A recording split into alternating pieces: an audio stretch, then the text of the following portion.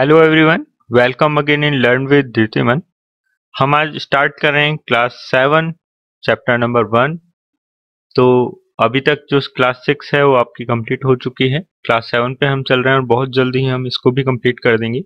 तो चलिए बिना देरी के इसको स्टार्ट करते हैं। मैं आपसे रिक्वेस्ट करता हूँ कि प्लीज़ इसको शेयर कीजिए लाइक कीजिए और सब्सक्राइब भी कीजिए। हो सके तो। है ना? चलिए स्टार्ट करते हैं। पृथ्वी का वह मंडल जहाँ जीवन पाया जाता है। पृथ्वी का वह मंडल जहाँ जीवन पाया जाता है। क्या कहलाता है? वो क्या कहलाता है? जैव मंडल कहलाता है। और पृथ्वी का ठोस सतह जो होती है वो क्या कहलाएगी? स्थल मंडल कहलाएगी। जलीय भाग जो होता है वो क्या कहलाएगा? जलमंडल कहलाएगा। और धरातल से ऊपर जो वायु वाला भाग है, वो क्या कहलाता है? वायुमंडल कहलाता है। और इन तीनों के संपर्क में आने से क्या बनता है? जैवमंडल बनता है है ना? तो तीनों अच्छा एक बात और, क्या पृथ्वी के संपूर्ण भाग में, क्या पूरे पृथ्वी पर हर एक जगह पर जीवन है? नहीं है, बिल्कुल नहीं है। जैसे कि ध्रुवीय क्षेत्र हैं जो बहुत ज़्यादा मरुस्थली हैं, जहाँ पे वनस्पति भी नहीं होती है, वहाँ कोई जीव भी नहीं पाया जाता है तो वहाँ पर जीवन थोड़ी है, नहीं है ना? क्यों जीवन नहीं है? क्योंकि वहाँ जो स्थल मंडल है जल मंडल है, वायुमंडल है, इनका सामंजस्य नहीं है, इनमें संतुलन नहीं है तो इस वजह से वहाँ क्या जैव मंडल भी नहीं बन पा है तो जैव मंडल पृथ्वी का संपूर्ण भाग जैव मंडल में नहीं आया जाता, कुछ हिस्सा ही इसका जैव मंडल माना जाता है। चलिए नेक्स्ट क्वेश्चन देखते हैं। जैविक तथा अजैविक पर्यावरण के पारस्परिक संबंधों को क्या कहते हैं? जैविक तथा अजैविक पर्यावरण के पारस्परिक संबंधों को क्या कहते हैं? तो बताइए क्या कहते हैं? इसको कहते हैं पारितंत्र इसको क्या कहा जाता है? पारितंत्र कहा जाता है। नेक्स्ट क्वेश्चन देखते हैं। खाद्य श्रृंखला क्या है? खाद्य श्रृंखला क्या है? पारिस्थितिक तंत्र में जीवों की परस्पर भोज्य निर्भरता प्रदर्शित करते हैं। पारिस्थितिक तंत्र में जीवों की परस्पर भोज्य निर्भरता प्रदर्शित करते हैं। इसका मतलब क्या हुआ? इसका चलो एक डायग्राम से देखते हैं इसको। खाद्य श्रृंखला का एक छोटा सा डायग्राम है। इसमें क्या है? ये आपका सूर्य है, ये आपका जल है। ये एक तरीके से जयमंडल के जो पहले जो पायदान है वो है जो पेड़ पौधे हैं वो हैं, क्या कहलाते हैं? उत्पादक। क्योंकि ये एनर्जी को डायरेक्टली जो सोलर एनर्जी है, जो डायरेक्ट जो पर्यावरण है, उसका यूज़ कर पाते हैं। तो इनको उत्पादक कहा जाता है। और उत्पादक प्राथमिक उपभोक्ता जो सामान्यतः शाकाहारी होते हैं, जैसे खरगोश हो गए, हिरण हो गए, कीट पतंगे हो गए, जो इनके ऊपर निर्भर होते हैं। फिर इनको खाने वाले क्या होते हैं? सर्वाहारी होते हैं। और साथ में वो क्या होते हैं? शाकाहारी का भी कई बार काम करते हैं तो वो द्वितीय उपभोक्ता हो गए। जो इनको खा जाते हैं, वो क्या हो गए? तृतीय को उपभोक्ता हो गए जो पूर्णतः मांसाहारी होते हैं। और जब ये इनके खत्म हो जाते हैं, मर जाते हैं तो इनका शरीर वापस मिट्टी में तब्दील होकर अपघटकों में चेंज हो जाता है और वो वापस से पोषक तत्वों के मार्फत कहाँ पहुँच जाता है? वापस से उत्पादकों के पास पहुँच जाता है। तो ये जो सर्कल है, ये जो सर्कल जो चलता है, इसको खाद्य श्रृंखला कहा जाता है। इसको क्या कहा जाता है? खाद्य श्रृंखला कहा जाता है। चलिए नेक्स्ट क्वेश्चन देखते हैं। पर्वत किसे कहते हैं? पर्वत किसे कहते हैं? तो देखिए, हर चीज़ की एक परिभाषा होती है। तो पर्वत की क्या परिभाषा है? ऐसे स्थान जो प्राकृतिक तौर पर आसपास के स्थानों से 600 मीटर अधिक ऊँचे होते हैं। ऐसे स्थान जो प्राकृतिक तौर पर आसपास के स्थानों से 600 मीटर से अधिक ऊँचे होते हैं, वो क्या कहलाते हैं? पर्वत कहलाते हैं। पर्वत का जो नीचे भाग होता है, वो चौड़ा होता है और ऊपर की तरफ़ क्या होते हैं? सक्रिय होते हैं। सक्रिय भाग को क्या कहते हैं? पर्वत की चोटी कहा जाता है, ठीक है? और जैसे कि माउंट एवरेस्ट क्या है? एक पर्वत का चोटी ही तो है, जो सबसे ऊँची पर्वत चोटी आठ हज़ार आठ सौ अड़तालीस मीटर ऊँची है है ना? नेक्स्ट क्वेश्चन देखते हैं। प्रशांत महासागर में स्थित मोनाकी पर्वत समुद्र तली से कितना ऊँचा है? प्रशांत महासागर में स्थित मोनाकी पर्वत समुद्र तली से कितना ऊँचा है? तो कितना ऊँचा है? दस हज़ार दो सौ पाँच मीटर। अधिकांशतः जो इसका भाग है, वो जलमग्न है। मतलब मैक्सिमम जो इस पहाड़, मोनाकी जो पहाड़ है इसका जो अधिकांश हिस्सा है, वो जलमग्न है। अच्छा इसमें एक जो चीज़ और है, वो भी आप ध्यान से देखिएगा। यहाँ पर कहा गया है समुद्र तली। समुद्र तली का मतलब जो उसका बॉटम हिस्सा है, जो उसका निचला हिस्सा है वहाँ से इसकी ऊंचाई देखी गई है जबकि माउंट एवरेस्ट की ऊंचाई कहाँ से नापी जाती है? समुद्र तल से। समुद्र तल यानी समुद्र का जो ऊपरी जो हिस्सा है जल का उस स्थल से हम उसकी ऊंचाई नापते हैं। तो वो 8,848 मीटर पड़ती है। लेकिन ये कहाँ से नापा गया है? समुद्र तली से नापा गया है। तली और तल में कंफ्यूज मत होइएगा। तो ये कहाँ से नापा गया है? समुद्र तली से नापा गया है और इसका मैक्सिमम हिस्सा चूँकि पानी के अंदर ही रहता है तो ये माउंट एवरेस्ट से बहुत नीचा रह जाता है। तो इसकी ऊंचाई लेकिन समुद्र तली से कितनी है? दस हज़ार दो सौ पाँच मीटर है। चलिए नेक्स्ट क्वेश्चन देखिए। पर्वत का पवनमुखी भाग किसे कहा जाता है? पर्वत का पवनमुखी भाग किसे कहा जाता है?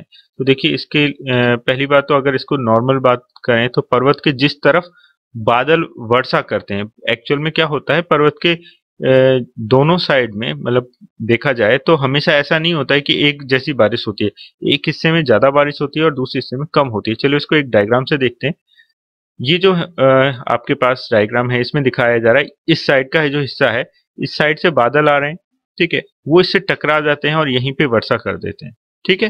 तो ये कौन सा भाव हो गया? पवन मुखी ढाल हो गया इसका।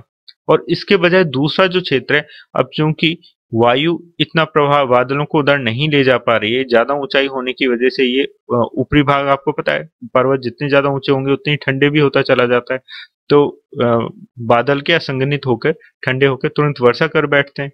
तो आगे जा ही नहीं पाते तो आगे नहीं जा पाएँगे तो क्या होगा? तो उससे दूसरी साइड का जो हिस्सा है, वृष्टि छाया प्रदेश जिसको कहा जाता है, क्या कहा जाता है? पवन विमुख पवना विमुखी ढाल भी कहा जाता है। वृष्टि छाया से प्रदेश कहा जाता है, यहाँ पे क्या होता है? वर्षा कम होगी कम होगी ना, और पवन मुखी ढाल पे क्या होगी? ज़्यादा होगी। तो इस चीज़ को आपको समझना होगा। तो पर्वतीय जो क्षेत्र होता है, वो भी क्या होता है? वो बादल से वर्षा करने में बहुत सहायक होते हैं, और कैसे होते हैं, वो इस डायग्राम से आप समझ सकते हैं। चलिए नेक्स्ट क्वेश्चन देखते हैं। हिमालय में गद्दी, बकरवाल और भोटिया जनजातियाँ किस मौसम में आती हैं? हिमालय में गद्दी, बकरवाल और भोटिया जनजाति किस मौसम में आती हैं? तो किस मौसम में आती हैं ये? ये आती हैं गर्मियों में। क्यों? क्योंकि ये जो जातियाँ होती हैं, ये मौसम प्रवासी जातियाँ होती हैं। तो हिमालय में उस वक्त बहुत ज़्यादा ठंड पड़ रही होती है और इनका मुख्य कार्य क्या होता है? देखिए जो पर्वतीय क्षेत्र होते हैं, उसमें हम पहले भी बात कर चुके हैं। इनका जो मुख्य आजीविका के लिए जो मुख्य साधन होता है, वो पशुपालन होता है। ठीक है? तो पशुपालन के लिए चारागाह भी चाहिए होता है। तो गर, सर्दियों में स्थिति तो ये होती है कि वहाँ वनस्पति ही नहीं होती, वहाँ पे चारागाह कहाँ से आएँगे? तो गर्मी के टाइम में वहाँ चारागाह होते हैं। तो वहाँ पर गर्मियों में तो ये चले जाते हैं। ये जो गद्दी, बकरवाल और भूटिया जो जनजातियाँ हैं, ये क्या मौसमी प्रवासी जातियाँ हैं। गर्मियों में हिमालय क्षेत्रों में होती हैं और सर्दियों में ये कहाँ चली जाती हैं? घाटियों में पलायन कर जाती हैं। ठीक है? तो ये क्या कहलाती है? इनका क्वेश्चन कई बार आ भी चुका है। तो गद्दी, बकरवाल और भूटिया क्या है? ये मौसमी प्रवासी जातियाँ हैं। ठीक है? नेक्स्ट क्वेश्चन देखिए। कम ढाल वाले, ऊँचे व चौड़े क्षेत्र जो समतल होते हैं, क्या कहलाते हैं? कम ढाल वाले, ऊँचे व चौड़े क्षेत्र जो समतल होते हैं, क्या कहलाते हैं? तो हम सभी जानते हैं क्या कहलाते हैं? वो पठार कहलाते हैं। क्या कहलाएँगे? वो पठार कहलाते हैं। चलिए, देखते हैं। अच्छा इसमें क्या होता है? निम्न जो पठार होते हैं, वो क्या है? कृषि के काम भी आते हैं। और जो ऊँचे पठार हैं, जैसे आपका तिब्बत का पठार है, वो तो बर्फीला पठार है, वहाँ कृषि तो संभव ही नहीं है। और जो निम्न पठारों में जहाँ कृषि की जाती है, उसका कोई उदाहरण अगर भारत में देखा जाए तो कौन से हैं? दक्कन का पठार हो गया, नागपुर का पठार हो गया। पठार सैकड़ों से हज़ारों मीटर ऊँचे भी हो सकते हैं। ऐसा नहीं है कि वो मतलब बहुत नीचे ही होते हैं, वो सैकड़ों मीटर से हज़ारों मीटर तक ऊँचे हो सकते हैं। और पठारों में खनिज जैसे लोहा हो गया, कोयला हो गया, ये बहुत ज़्यादा अधिक मात्रा में पाए जाते हैं। चलिए नेक्स्ट क्वेश्चन देखिए। समुद्र तल से 300 मीटर से कम और समतल भूभाग क्या कहलाते हैं? समुद्र तल से 300 मीटर से कम ऊँचे और समतल भूभाग क्या कहलाते हैं? क्या कहलाते हैं? मैदान कहलाते हैं। और मैदान कितने प्रकार के होते हैं? आपको पता है? मैदान कितने प्रकार के होते हैं? मैदान होते हैं दो प्रकार के, तटीय मैदान और आंतरिक मैदान। तटीय मैदान क्या होते हैं? जो समुद्र के किनारे पाए जाते हैं, है ना? समुद्र के किनारे जो स्थल भाग होता है, वो क्या कहलाएगा? तटीय मैदान कहलाता है। और आंतरिक मैदान क्या होता है? नदियों द्वारा जो मिट्टी जो निक्षेप से बनता है जो मैदान, वो क्या कहलाएगा? आंतरिक मैदान कहलाएगा। चलिए नेक्स्ट क्वेश्चन देखिए। सदावाहिनी या नित्य वाहिनी नदियाँ किसे कहा जाता है? सदावाहिनी, नदियाँ किसे कहा जाता है? तो वर्ष पर्यंत जो संपूर्ण वर्ष प्रवाहित होती हैं, जैसे कि आपकी गंगा यमुना हो गई, ये क्या है? ये आपकी सदा नीरा या सदा वाहिनी या नित्य वाहिनी नदियाँ हैं। और कुछ मौसम मौसमी नदियाँ भी होती हैं, जैसे अपनी राजस्थान की लूणी नदी है, वो क्या होती है? केवल वर्षा के समय बहती है तो वो क्या कहलाएगी? मौसमी नदी कहलाएगी। ठीक है? चलिए नेक्स्ट क्वेश्चन देखिए। नदी बेसिन किसे कहा जाता है? देखिए, नदी बेसिन बहुत बार आता है, लेकिन हम लोग क्या सामान्य तौर पर नहीं जानते तो इसको अच्छे से देख लीजिएगा क्या होता है? नदी का बेसिन क्या होता है कि स्थल का वह भूभाग जहाँ मुख्य नदी और उसकी सहायक नदी बहती है, वो क्या सारा जो स्थल भाग है, वो क्या कहलाएगा? मुख्य नदी का बेसिन कहलाता है। इसको एक एग्ज़ाम्पल से समझते हैं। गंगा नदी है, ठीक है? गंगा नदी जहाँ से स्टार्ट हो रही है, उद्गम हो, जहाँ से हो रहा है, जहाँ तक बह रही है, उसके बीच में सहायक नदियाँ भी मिल रही हैं, सोन मिल रही है उससे चंबल मिल रही है, यमुना मिल रही है। तो अब सोन का जो क्षेत्र है, जहाँ जहाँ से सोन बहकर आ रही है, यमुना बहकर आ रही है और चंबल जहाँ से बहकर आ रही है, जहाँ से स्टार्ट होकर एंड हो रही है, वो सारी जगह क्या है? वो सारी जगह क्या कहलाएँगी? वो गंगा का बेसिन कहलाएगा। वो क्या कहलाएगा? गंगा का बेसिन कहलाएगा। तो स्थल का वह भूभाग, जहाँ मुख्य नदी, यानी गंगा, और उसकी सहायक नदियाँ, जैसे यमुना हो गई, सोन हो गई, है ना? चंबल हो गई, ये सब क्या है? उसकी सहायक नदियाँ तो उसकी सहायक नदी बहती है, मुख्य नदी का बेसिन कहलाता है। ठीक है? चलिए नेक्स्ट क्वेश्चन देखिए। समुद्र किनारे स्थल भाग को क्या कहा जाता है? समुद्र किनारे स्थल भाग को क्या कहा जाता है? देखिए, हम सभी जानते हैं इसको क्या कहते हैं? तट कहते हैं। लेकिन पारिभाषिक तौर पे इसको जानना ज़रूरी था, इसलिए मैंने इस क्वेश्चन को ऐड किया है। ठीक है? समुद्र किनारे स्थल भाग को क्या कहा जाता है? तट कहा जाता है। नेक्स्ट क्वेश्चन देखिए। विश्व का सबसे बड़ा नदी स्थित द्वीप का नाम क्या है? विश्व का सबसे बड़ा नदी स्थित द्वीप का नाम क्या है? ये क्वेश्चन भी बहुत बार रिपीट हो चुका है। इस चीज़ का ध्यान रखिएगा, जिसका नाम है मांजुली और ये कहाँ पे है? ब्रह्मपुत्र नदी में। ठीक है? मांजुली जो द्वीप है, वो कहाँ पर स्थित है? ब्रह्मपुत्र नदी के अंदर स्थित है। और ये एसएससी में भी आया है। तो इस चीज़ को आप मतलब हल्के से मत लीजिएगा, ये बहुत रिपीट होता है। इसको अच्छे से याद रखिएगा, है ना? नेक्स्ट क्वेश्चन देखिए। द्वीप व प्रायद्वीप में क्या अंतर है? द्वीप व प्रायद्वीप में क्या अंतर है? तो हम सभी जानते हैं जैसा कि द्वीप क्या होता है? द्वीप चारों ओर से जल से घिरा होता है, जबकि प्रायद्वीप जल से तीन ओर से जल से घिरा होता है है ना? तो द्वीप जैसे कि आपका लक्षद्वीप हो गया, अंडमान, निकोबार हो गया, ये क्या है? आपके द्वीप हैं। और भारत क्या है? प्रायद्वीप है। क्यों? क्योंकि वो तीन तरफ़ से जल से घिरा हुआ है। तो आप समझ गए होंगे द्वीप और प्रायद्वीप में क्या अंतर होता है। तो इसी के साथ आपका ये चैप्टर होता है समाप्त। क्लास सेवन का चैप्टर नंबर थ्री और इससे पहले कि मैं इन क्वेश्चंस को स्टार्ट करूँ, कि प्रशांत महासागर की जो शेप है, वो त्रिभुजाकार बताई है आरबीएससी के अंदर और एनसीईआरटी के अंदर उसी को वृत्ताकार बताया गया है ना? तो क्या होता है, बच्चों की जब एग्ज़ाम पेपर बनाए जाते हैं तो ऑथेंटिक बुक से ही बनाए जाते हैं।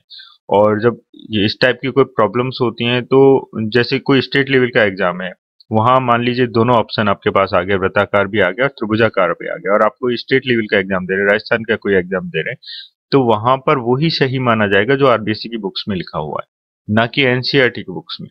जब आप किसी सेंट्रल लेवल के एग्ज़ाम को दे रहे हैं तो आपको एनसीआरटी की बुक्स में जो लिखा है, वही सही माना जाएगा, ना कि आरबीएससी की बुक्स में। तो इस चीज़ का आपको थोड़ा सा ध्यान रखना होगा।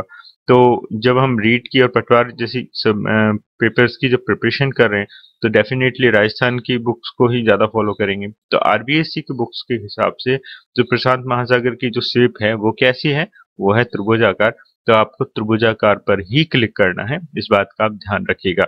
सेंट्रल लेवल का एग्ज़ाम एनसीआरटी की बुक्स स्टेट लेवल का एग्ज़ाम देना है तो स्टेट लेवल की बुक्स है ना? इस चीज़ को बिल्कुल भी कंफ्यूज मत होइएगा। चलिए स्टार्ट करते हैं बिना देरी के। फ़र्स्ट क्वेश्चन है आपका, जीवों द्वारा छोड़ी गई कार्बन डाइऑक्साइड पेड़ पौधों द्वारा किस कार्य हेतु उपयोग की जाती है? जीवों द्वारा छोड़ी गई कार्बन डाइऑक्साइड पेड़ों पेड़ पौधों द्वारा किस कार्य हेतु उपयोग की जाती है? किस कार्य उपयोग की जाती है? भोजन बनाने के लिए। जो पेड़ पौधे हैं, कार्बन डाइऑक्साइड का यूज़ करते हैं और उसके अपना भोजन बनाते हैं, सूर्य की एनर्जी के द्वारा, है ना? फोटोसिंथेसिस जिसे कहते हैं।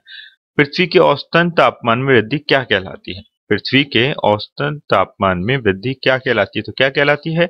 ग्लोबल वार्मिंग या भूमंडलीय तपन, है ना? और ये क्यों होती है? ग्रीन हाउस गैसेस की वजह से। जैसे ग्रीन हाउस गैस का सबसे मेन एग्जांपल क्या है? सीओ है है ना? Carbon dioxide. इसकी वजह से क्या होती है? ग्लोबल वार्मिंग क्रिएट होती है। चलिए, नेक्स्ट क्वेश्चन देखिए।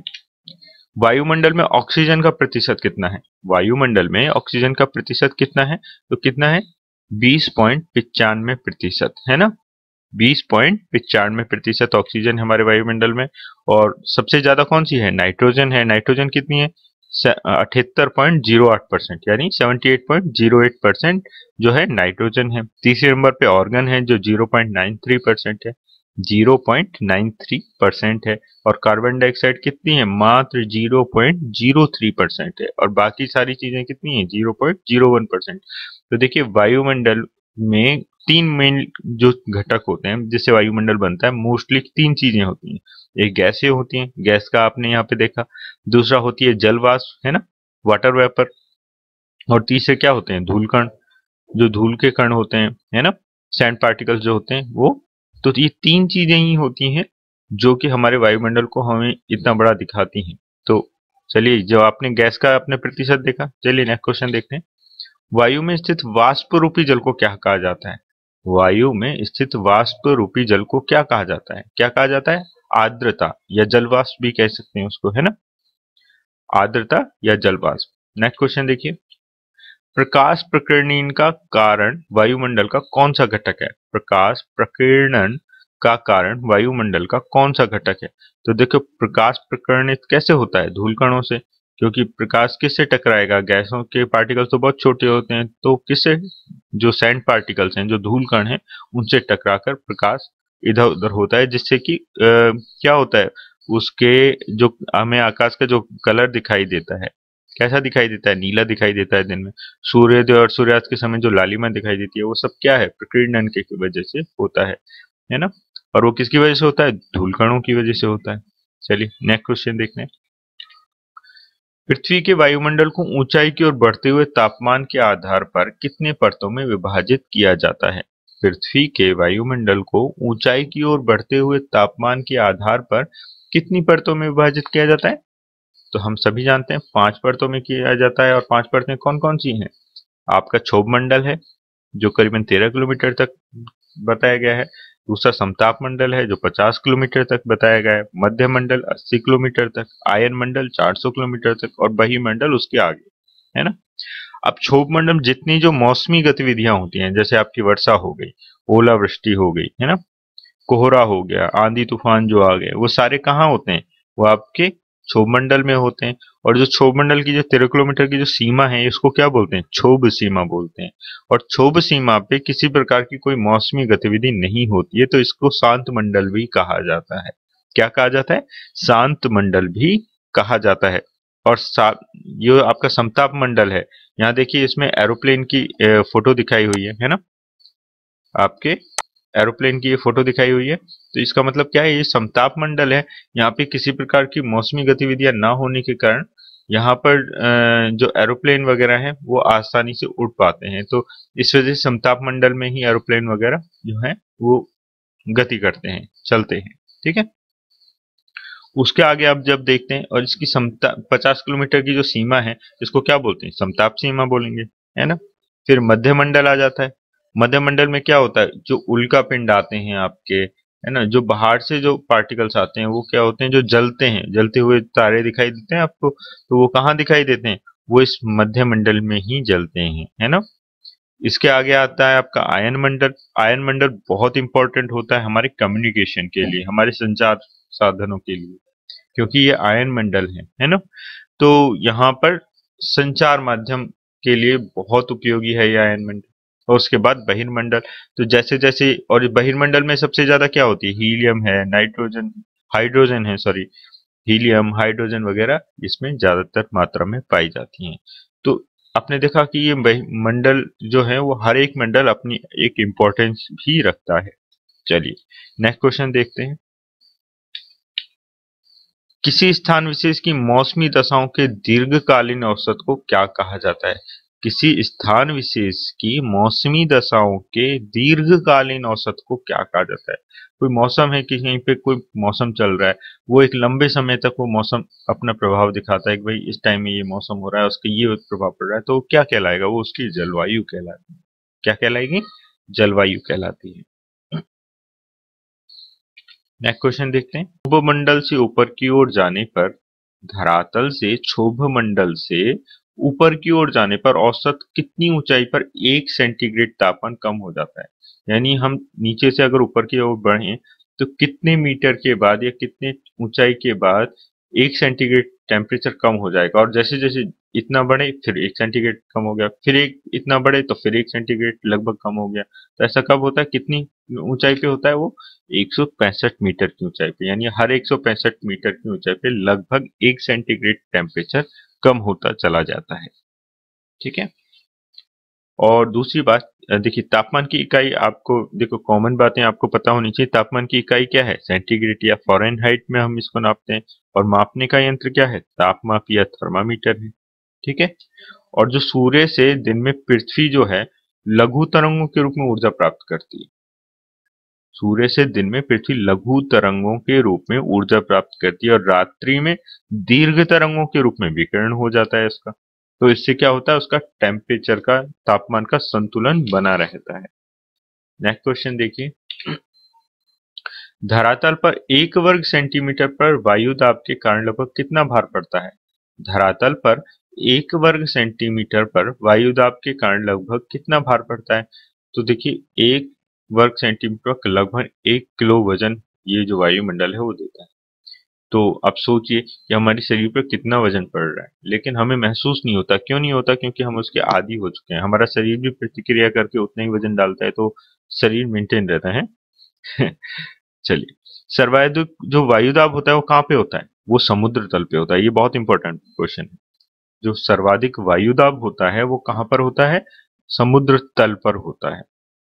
वायुमंडल में स्थित वायु की परतों द्वारा लग रहे दबाव को क्या कहा जाता है? वायुदाब कहते हैं। वायुमंडल में स्थित वायु परतों द्वारा लग रहे दबाव को क्या कहा जाता है? वायु वायुदाब कहते हैं। और जैसे जैसे हम इसमें ऊंचाई की तरफ़ बढ़ते हैं, जितना ऊपर बढ़ते जाएँगे वैसे वैसे वायु कम होती चली जाएगी।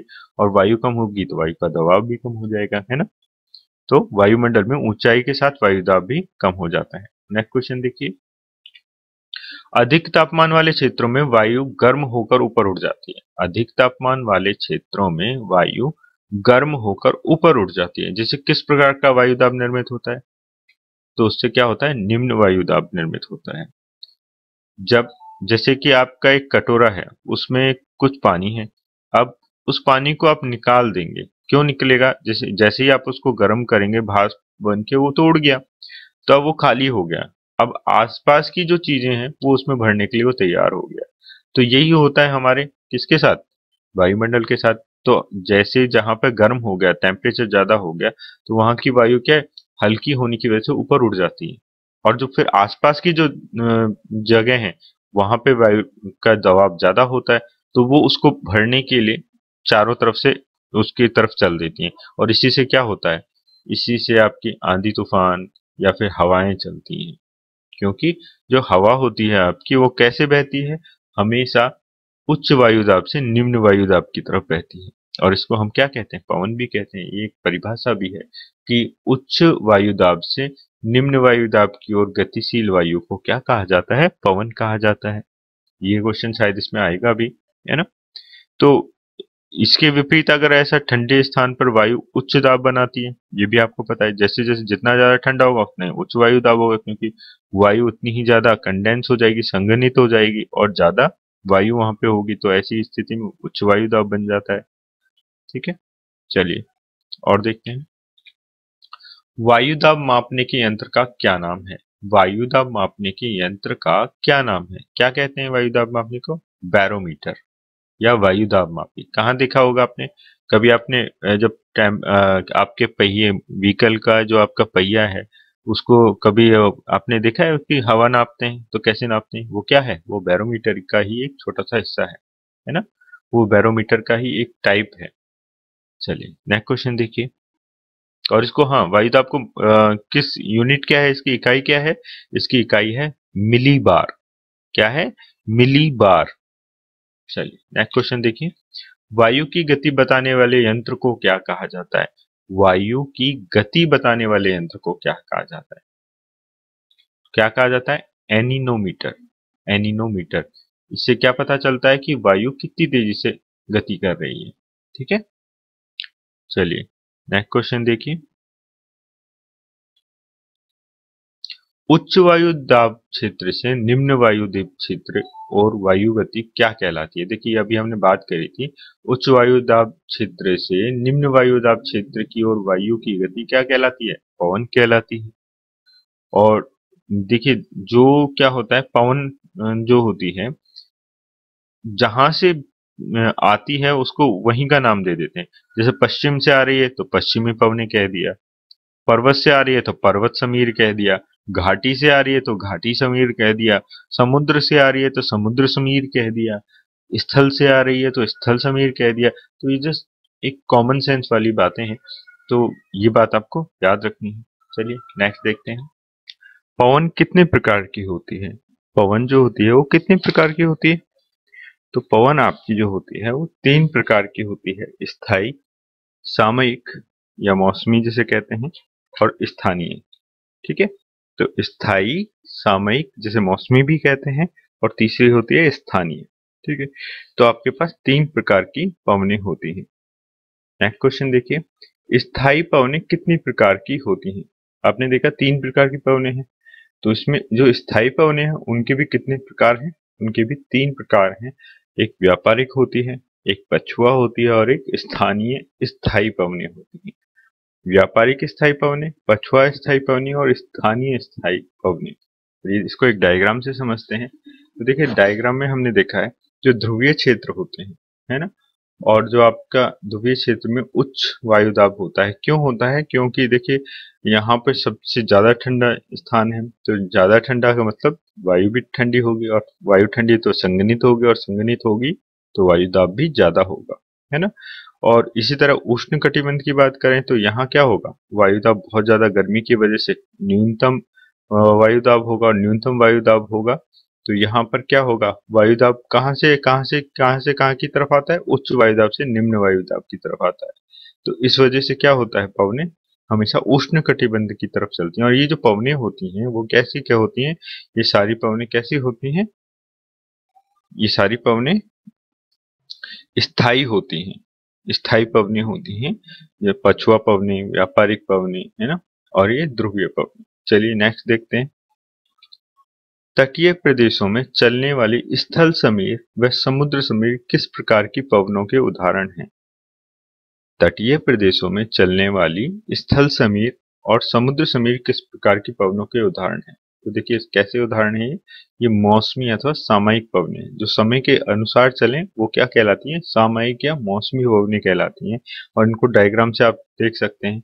जल समीर क्या होता है?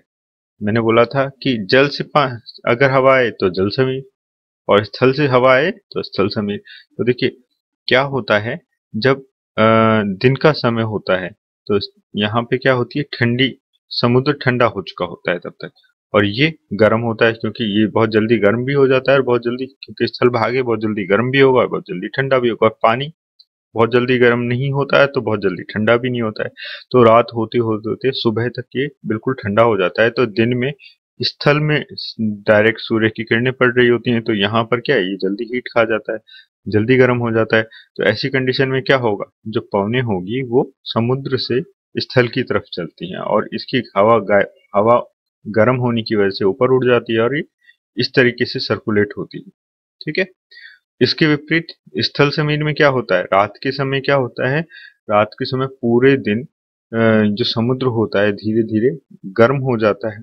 अब क्या उसको ठंडा होने में वक्त लगता है पानी को? और स्थल जो होता है वो तुरंत ठंडा भी हो जाता है। तो ऐसी स्थिति में क्या होगा?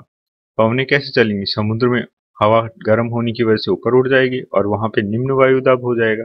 तो क्या होगा? स्थल से पवने बहना चालू कर देंगी। तो क्या हो जाएगा? स्थल समीर बनना चालू हो जाता है और इधर जल समीर तो ये कैसी हैं? जो दिन और रात के हिसाब से, समय के हिसाब से चलती हैं तो इसलिए क्या कहेंगे? सामयिक पवनों के ये उदाहरण है। स्थल समीर और समुद्र समीर चलिए नेक्स्ट देखिए।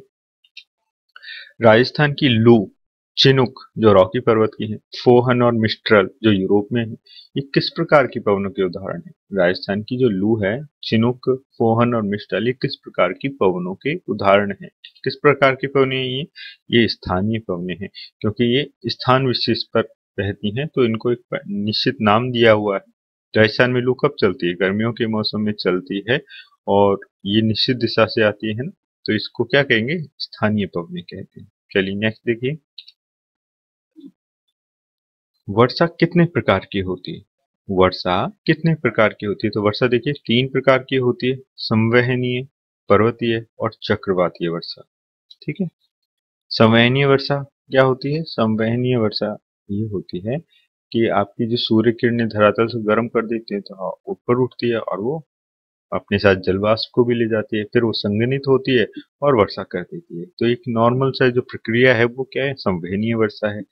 जब यही बादल पर्वत से टकरा कर वर्षा करते हैं तो ये पर्वतीय वर्षा हो जाती है और चक्रवातीय वर्षा ये चक्रवात की वजह से होती है। तो इस तरीके से तीन प्रकार की वर्षाएँ। अच्छा जो संवहनीय वर्षा होती है, वो कहाँ सबसे ज़्यादा कहाँ होगी? वो विश्वत रेखा पे होती है, क्योंकि वहाँ गर्मी ज़्यादा होती है तो वहाँ वाष्प भी जल्दी बनती है। और इसी वजह से रात में जैसे गर्म ज़्यादा होती है तो ठंडी भी जल्दा होता, जल्दी होता है स्थल। तो ऐसी स्थिति में क्या होता है? विश्वतीय रेखा पे जो स्थल भाग है, वहाँ पर संवहनीय वर्षा बहुत ज़्यादा होती है। ठीक है? और जो उष्ण शीतोष्ण कटिबंध के जो तटीय क्षेत्र हैं, उष्ण शीतोष्ण कटिबंध के जो तटीय क्षेत्र हैं, वहाँ से 100 से 200 सेंटीमीटर की वर्षा होती है और जबकि विश्व क्षेत्र में सबसे ज़्यादा वर्षा होती है तो 200 सेंटीमीटर। और इसी वजह से क्या होता है, यहाँ सर्वाधिक वर्षावनों का क्षेत्र भी है। उष्ण कटिबंध मध्य क्षेत्र में और शीतोष्ण के पूर्वी भाग में कम से कम जो भाग है, वो वहाँ से 25 से 100 सेंटीमीटर की औसतन वर्षा होती है। चलिए देखिए नेक्स्ट देखते विश्वतीय क्षेत्र में होने वाली दैनिक वर्षा समतक किस प्रकार की होती है? विश्वतीय क्षेत्र में होने वाली दैनिक वर्षा समतक किस प्रकार की होती है? देखिए, मैंने अभी बताया था संवहनीय वर्षा। संवहनीय वर्षा क्या होती है? ज़्यादा गर्मी की वजह से वाष्प जल्दी उठती है और समुद्र रात में ठंडा होने की वजह से वापस संगनित होकर तुरंत वर्षा कर देती है तो इसमें देख, इस हिस्से को देखिए, ये विश्वतीय क्षेत्र वाला हिस्सा है। और यहाँ पर क्या है ये सबसे 200 सेंटीमीटर तक की जो वर्षा होती है, वो कहाँ हो रही है? वो इस क्षेत्र में ही सबसे ज़्यादा हो रही है। क्यों हो रही है? क्योंकि विश्वत रेखा पे सबसे उष्ण मौसम रहता है दिन में और रात्रि में वो ही ठंडा हो जाता है। तो यहाँ ये मानिए कि हर दिन, प्रत्येक दिन सायकाल में वर्षा होती ही है। तो इसकी वजह से यहाँ पर वर्षा का जो मौसम होता है वो बहुत ज़्यादा होता है। तो इस वजह से क्या है? यहाँ वर्षण क्षेत्र है ये। सबसे सर्वाधिक वर्षा क्षेत्र कहाँ होती है? यानी विश्वतीय रेखा के ऊपर। चलिए नेक्स्ट देखते हैं। विश्व की औसत वार्षिक वर्षा कितनी है? विश्व की औसत वार्षिक वर्षा कितनी है? तो विश्व की जो औसत वार्षिक वर्षा है वो करीबन 117 सेंटीमीटर प्रति वर्ष की वर्षा होती है। विश्व में औसत वार्षिक वर्षा क्या है? 117 सेंटीमीटर प्रति वर्ष। नेक्स्ट क्वेश्चन देखिए। विश्व का सर्वाधिक वर्षा का क्षेत्र कहाँ स्थित है? विश्व का सर्वाधिक वर्षा का क्षेत्र कहाँ स्थित है? तो देखिए, हमने अभी बात की थी। तो मेघालय के जो खासी नदी है, वह मौसिन राम और चेरापूंजी, जिनके बारे में आपने बहुत सुना होगा तो मौसिन राम इस वक्त सबसे ऊपर है। यहाँ पर विश्व की सबसे ज़्यादा बारिश होती है। इस क्वेश्चन को घुमा फिरा कर भी पूछा जा सकता है तो इस बात का ध्यान रखिएगा। मेघालय में होती है और कहाँ पे होती है? किस नदी के पास होती है? खासी नदी के पास होती है। और ये कहाँ होती है? मासिन राम या चेरापूंजी में सबसे ज़्यादा होती है, जिसमें मौसिन राम इस वक्त सबसे ऊपर आता है। इसको एक डायग्राम में भी देख लेते हैं। यहाँ देखिए, ये जो ग्रे कलर है, यहाँ 200 सेंटीमीटर से अधिक वर्षा होती है। कहाँ पे? एक ये हिला हिस्सा है। और एक ये हिस्सा है। क्यों होती है? यहाँ पर ऐसी स्थितियाँ बनती हैं, जैसे कि वर्षा यहाँ, और यहाँ पर जो है, जो नीले भाग से दिखाया गया यहाँ, आपके 200 सेंटीमीटर तक या फिर 200 100 से 200 सेंटीमीटर तक की वर्षा होती है। इस क्षेत्र में जो रेड कलर से दिखाया गया है, यहाँ पे 50 से 100 सेंटीमीटर और सबसे कम कहाँ होगी? मरुस्थलीय क्षेत्र में या प्लेटियस क्षेत्र में या फिर लद्दाख में अगर होती है तो वहाँ पे हिम के रूप में होती है, यानी हिमपात होता है। तो यहाँ पे सबसे कम होती है 50 सेंटीमीटर से भी कम वर्षा यहाँ पर होती है।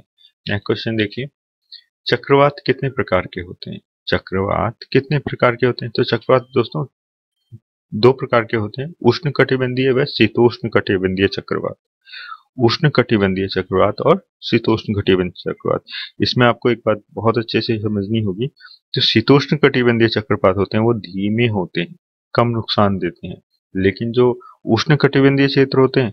कटिबंधीय जो चक्रवात होते हैं, वो बहुत तीव्र होते हैं और ज़्यादातर जो जान माल का जो नुकसान माना जाता है, वो उष्ण कटिबंधीय चक्रवातों के द्वारा ही होता है। और चक्रवात सामान्यतः कहाँ विकसित होते हैं? समुद्र में विकसित होते हैं, है ना? नेक्स्ट क्वेश्चन देखिए। उष्ण कटिबंधीय चक्रवातों को ऑस्ट्रेलिया में क्या कहा जाता है? उष्ण कटिबंधीय चक्रवातों को ऑस्ट्रेलिया में क्या कहा जाता है? तो क्या कहा जाता है? ऑस्ट्रेलिया में विली विलीज कहा जाता है इनको। क्या कहा जाता है? ऑस्ट्रेलिया में विली, विलीज कहा जाता है। अन्य नामों को भी देख लीजिए। कैरिबियन सागर या मैक्सिको क्षेत्र में इसको टॉर्नेडो कहा जाता है। चीन और जापान में इसी कोई टाइफून भी कहते हैं। और यूएसए में, संयुक्त राष्ट्र अमेरिका में इसको क्या कहा जाता है? हरिकेन कहा जाता है। और हमारे बंगाल की खाड़ी के क्षेत्र में इसको चक्रवात कहते हैं। है ना? तो इन नामों को आप याद रखिएगा। नेक्स्ट क्वेश्चन देखिए। चक्रवात के केंद्र में और परिधि में वायुदाब में क्या अंतर होता है? चक्रवात के केंद्र में और परिधि में वायुदाब में क्या अंतर होता है? तो देखिए, चक्रवात का जो केंद्र का हिस्सा होता है, इसमें वायुदाब बहुत निम्न होता है और परिधि पर उच्च वायुदाब होता है। ठीक है? चक्रवात के केंद्र में वायुदाब निम्न होता है और परिधि पर उच्च वायुदाब होता है। और हवाएँ केंद्र से परिधि की ओर बहती है। सबसे मेन बात हवाएँ जो होती हैं केंद्र से परिधि की ओर होती हैं, जबकि केंद्र का वायुदाब भी निम्न होता है और उच्च, हमेशा पवने कहाँ से चलती हैं? उच्च से निम्न की तरफ़ चलती हैं, लेकिन फिर भी यहाँ पर उल्टा होता है और यहाँ पर क्या होता है? यहाँ केंद्र से परिधि की ओर हवाएँ चलती हैं। इस बात को आप याद रखिएगा। इसी इसी के विपरीत क्या होता है? प्रति चक्रवात में क्या होता है? प्रति चक्रवात में केंद्र में उच्च वायुदाब होता है और इसके परिधीय भाग में निम्न वायु दाब होता है है ना? चलिए नेक्स्ट देखिए। प्रति चक्रवात में दक्षिण गोलार्ध में किस प्रकार घूमता है? प्रति चक्रवात दक्षिणी गोलार्ध में किस प्रकार घूमता है? देखिए प्रति चक्रवात अगर दक्षिण गोलार्ध में बनता है तो वो एंटी क्लॉकवाइज घूमता है, यानी घड़ी के विपरीत दिशा में, घड़ी की सुइयों के विपरीत दिशा में। और उत्तरी गोलार्ध में जब ये बनता है तो ये क्लॉकवाइज घूमता है, जो वलय बनती है, जो सर्कुलेट होती है हवा प्रति चक्रवात में वो कैसी बनती है? उत्तरी गोलार्ध में तो क्लॉकवाइज घूमता है और दक्षिणी गोलार्ध में एंटी क्लॉकवाइज ये घूमता है। तो ये था आपका अंतिम क्वेश्चन क्लास सेवन का चैप्टर नंबर थर्ड जिसका टॉपिक है जल। और बिना देर के चलिए स्टार्ट करते हैं। क्वेश्चन फ़र्स्ट है, कोटा शहर किस नदी के किनारे बसा हुआ है? कोटा शहर किस नदी के किनारे बसा हुआ है? तो किस नदी के किनारे बसा हुआ है? चंबल के किनारे बसा हुआ है। इसी तरह जो आपका राजस्थान का जो टोंक है, वो किसके किनारे है? बनास नदी के किनारे है। उदयपुर है, वो किस नदी के किनारे है? वो आयड़ आयड़ नदी के किनारे बसा हुआ है ना? टोंक किसके किनारे? बनास के किनारे, उदयपुर आयड़ के किनारे और आपका जो कोटा है, वो चंबल के किनारे बसा हुआ है। नेक्स्ट देखिए, दिल्ली शहर किस नदी के किनारे बसा हुआ है? देखिए, जो बड़े शहर होते हैं, जो महानगर होते हैं वो सामान्य तौर पर या तो किसी नदी के किनारे या किसी महासागर के किनारे या फिर झील के आसपास विकसित होते हैं। क्यों? क्योंकि जल स्रोतों के आसपास ही जो मानव बस्ती है वो अच्छे से पनप पाती है। तो चलिए देखते हैं, दिल्ली शहर किसके किनारे बसा हुआ है? यमुना के किनारे। और भी जो शहर हैं, जैसे इंपॉर्टेंस रखते हैं, दिल्ली जो है यमुना के किनारे हम देख चुके हैं। इलाहाबाद, जो गंगा यमुना का संगम क्षेत्र है, वहाँ पर बसा हुआ है। इलाहाबाद कहाँ बसा हुआ है? गंगा यमुना के जो संगम क्षेत्र है, वहाँ पर। लंदन बहुत फ़ेमस है, जो वर्ल्ड फ़ेमस है, वो कहाँ पे है? वो थेम्स नदी के किनारे बसा हुआ है। और थेम्स नदी कहाँ इंग्लैंड की जो थेम्स नदी है, उसके किनारे क्या बसा हुआ है? लंदन बसा हुआ है। इटली की जो टाइबर नदी है, उसके किनारे रोम बसा हुआ है। और फ्रांस की जो सीन नदी है, उसके किनारे क्या बसा हुआ है? पेरिस बसा हुआ है। तो इस चीज़ को आप याद रखेंगे। नेक्स्ट क्वेश्चन देखिए। चेन्नई किस महासागर के तट पर बसा हुआ है? चेन्नई किस महासागर के तट पर बसा हुआ है? तो हम सभी जानते हैं किस महासागर के तट पे है? हिंद महासागर के तट पे। देखिए, और भी जो शहर हैं, जैसे मुंबई है, वो हिंद महासागर के तट पे चेन्नई हम देख चुके हैं हिंद महासागर के तट पे। न्यूयॉर्क जो है न्यूयॉर्क सिटी है, वो कहाँ पे है? अटलांटिक महासागर के तट पे है। बीजिंग प्रशांत महासागर के तट पे है। चीन की जो है है ना? सिंगापुर प्रशांत महासागर के तट पे ये ये भी सिंगापुर से है है ना? तो इन चीज़ों को आप बिल्कुल निश्चित रूप से याद रखेंगे। चलिए नेक्स्ट क्वेश्चन देखते हैं। पुष्कर किस झील के किनारे बसा हुआ है? देखिए ये भी एक जल स्रोत है अच्छा। और पुष्कर किस झील के किनारे? पुष्कर झील ही है है ना? चलिए, और देखते हैं इसमें। श्रीनगर कौन सी झील के किनारे बसा हुआ है? डल झील के किनारे। ये क्वेश्चन कई बार रिपीट भी हुआ है। तो इस चीज़ का ध्यान रखिएगा। श्रीनगर कहाँ पे बसा हुआ है? डल झील के किनारे, शिकागो। कहाँ है? मिशिगन। मिशिगन डुलूथ सुपीरियर के किनारे, है ना? और बफेलो इरी के किनारे। इस सुपीरियर झील को याद है ना? कौन सी है ये? ये आपकी ताजे पानी की सबसे बड़ी झील है है ना? चलिए नेक्स्ट क्वेश्चन देखिए। पृथ्वी पर मौजूद जल का कितना प्रतिशत भाग पीने योग्य है? पृथ्वी पर मौजूद जल का कितना प्रतिशत भाग पीने योग्य है? तो कितने पी योग्य है? 2.5 परसेंट। दो प्रतिशत जो जल है वो पीने योग्य है और उसमें भी सबसे बड़ी समस्या यह है कि उसमें जो अधिकांश जो भाग है वो ध्रुवों पर और पर्वतों पर बर्फ़ के रूप में जमा रहता है। तो यानी वास्तविक रूप में तो बहुत कम जल हमारे पास अवेलेबल होता है। और हमारे पास स्रोत क्या है? नदियाँ हैं, झीलें हैं, बाँध, तालाब, कुएँ, एनिकट, ये चीज़ें क्या हैं? ये हमारे लिए सोर्स का काम करते हैं। नेक्स्ट क्वेश्चन देखिए। विश्व की सबसे खारे पानी की झील कौन सी है? विश्व की सबसे खारे पानी की झील कौन सी है? सबसे ज़्यादा खारा पानी कौन सी झील में पाया जाता है? वॉन झील में, जो तुर्की में है। वॉन झील जो तुर्की में है, उसमें विश्व का सबसे खारा पानी पाया जाता है तो वो सबसे खारे पानी की झील है है ना? मृत सागर है, वो भी खारा पानी है। हमारी राजस्थान की जो सांबर झील है, वो भी खारे पानी की झील है है ना? और खारे पानी का मतलब क्या है? जिसको हम कठोर जल भी कहते हैं। क्या कहते हैं? कठोर जल भी जिसको कहा जाता है, वही तो खारा पानी है। चलिए नेक्स्ट क्वेश्चन देखिए। जल के खारेपन का कारण क्या होता है? जल के खारेपन का कारण क्या होता है? तो खारेपन का कारण क्या होता है? देखिए सोडियम क्लोराइड है कैल्शियम है मैग्नीशियम है और जो और लवण है, जो सॉल्ट है, ये इसके खारेपन का कारण होते हैं। ठीक है? चलिए नेक्स्ट क्वेश्चन देखिए। राजस्थान के शेखावटी और दक्षिण राजस्थान में फ्लोराइड जल पाया जाता है। यह पीने योग्य क्यों नहीं माना जाता है? राजस्थान का जो शेखावटी और दक्षिण राजस्थान जो भाग है, वहाँ पर फ्लोराइड युक्त जल बहुत ज़्यादा मात्रा में मिलता है। वहाँ का जल प्रदूषित स्थिति में है। तो वहाँ पे क्यों नहीं पीने योग्य क्यों नहीं माना जाता? है क्या होता है इससे? इससे हड्डियों से संबंधित रोगों पनपते हैं। इस वजह से फ्लोराइड युक्त जल को पीने योग्य नहीं माना जाता है। चलिए नेक्स्ट क्वेश्चन देखिए। वर्षा जल भूमि के अंदर प्रवेश कर नीचे की कठोर चट्टानों के ऊपर एकत्रित हो जाती है। ऐसा जल क्या कहलाता है? वर्षा जल भूमि के अंदर प्रवेश कर नीचे के कठोर चट्टानों के ऊपर एकत्रित हो जाता है। ऐसा जल क्या कहलाता है? ऐसा जल क्या कहलाएगा?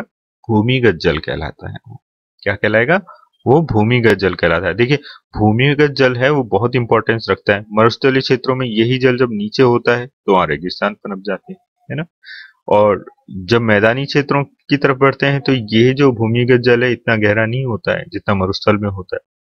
और जब वर्षा का समय होता है तो ये इसी की गहराई भूमिगत जल की गहराई कम हो जाती है है ना?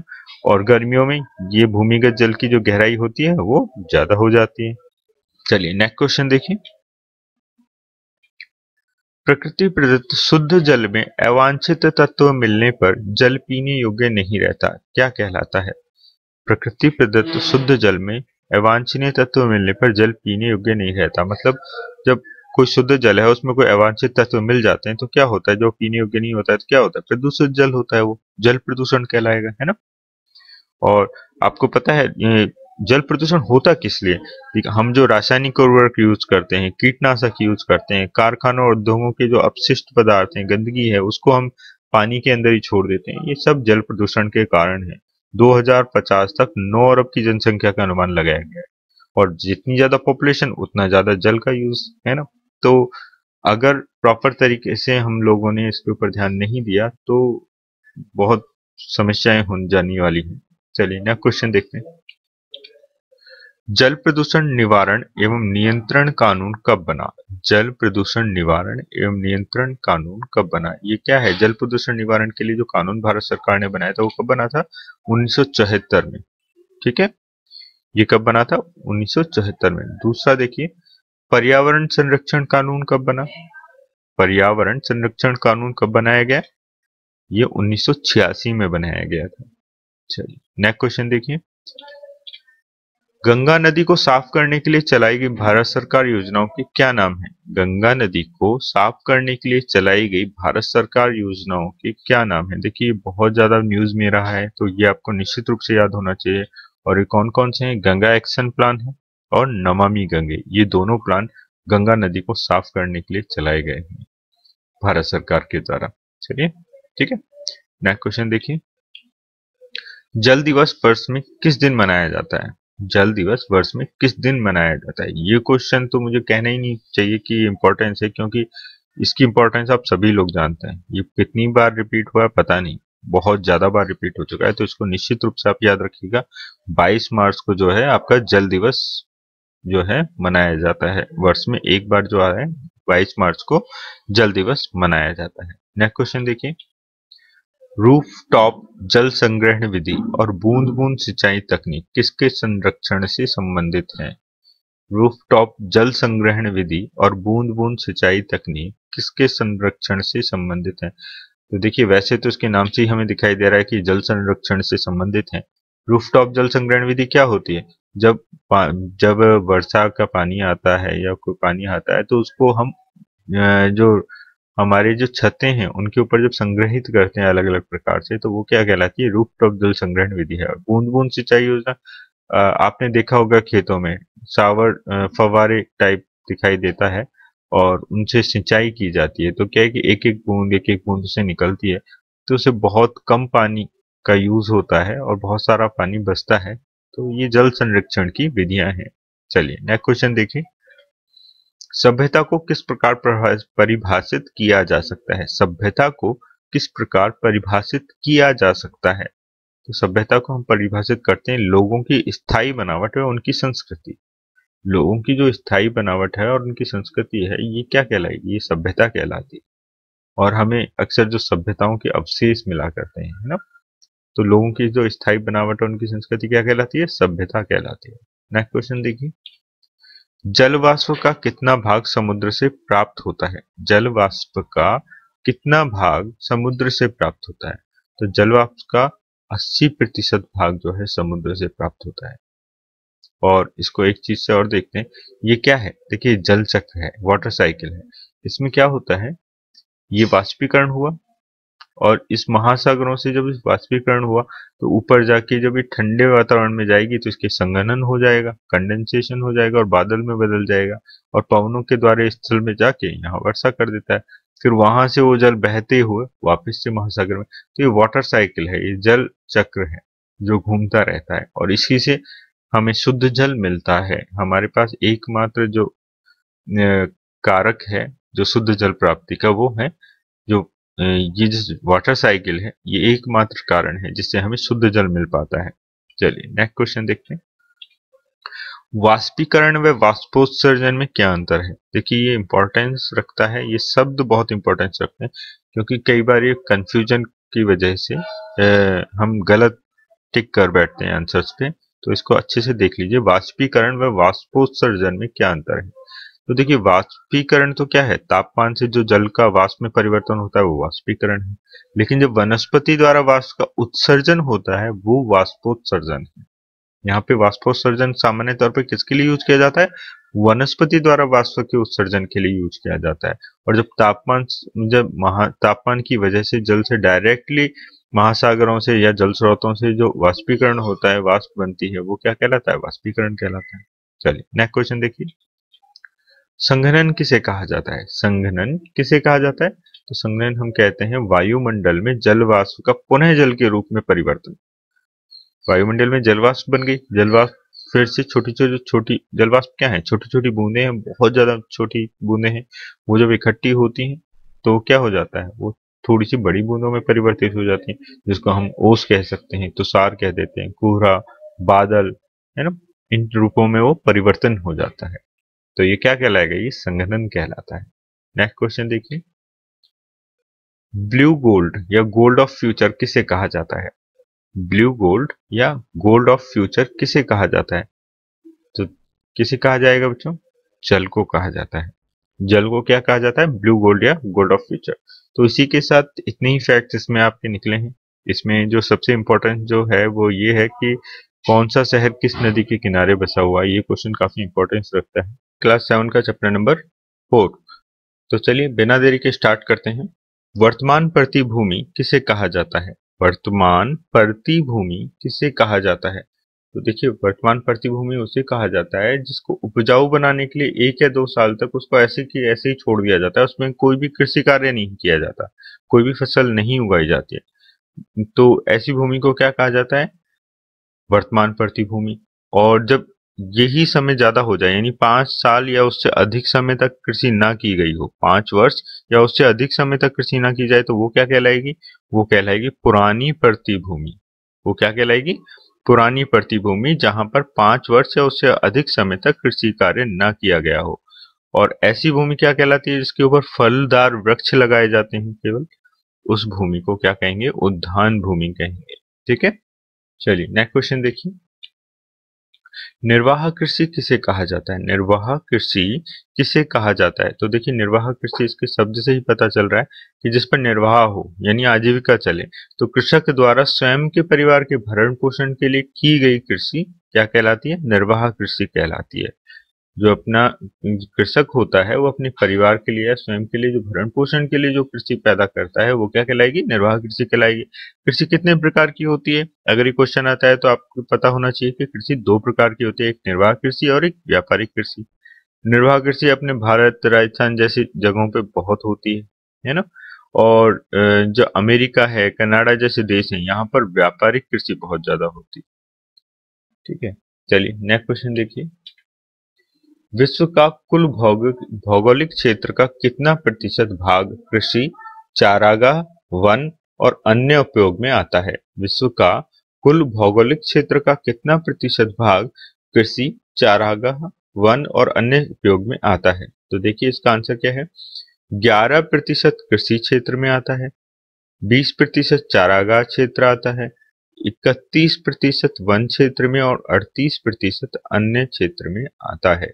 विश्व का जो कुल भौगोलिक क्षेत्र का जो प्रतिशत भाग है, वो 11 प्रतिशत कृषि भूमि है 20 प्रतिशत चारागाह भूमि है और 31 प्रतिशत वन भूमि है और 38 प्रतिशत अन्य में आता है। नेक्स्ट क्वेश्चन देखिए।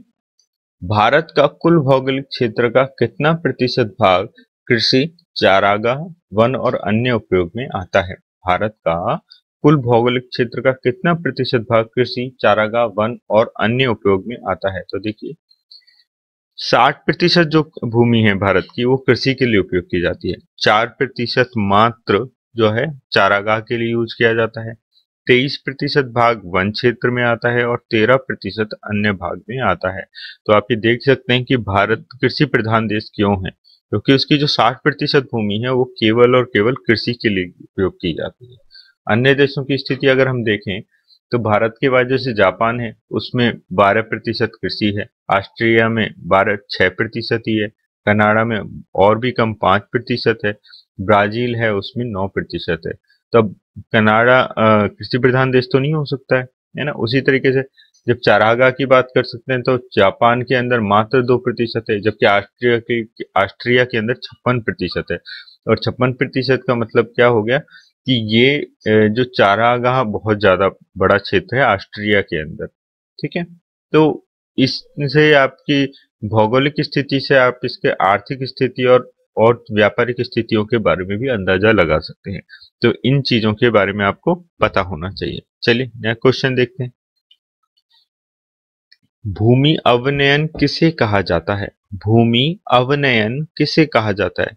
तो देखिए उपजाऊ भूमि की गुणवत्ता और उपयोगिता एवं उत्पादकता में कमी आना। वो क्या कहलाता है? भूमि अवनयन कहलाता है।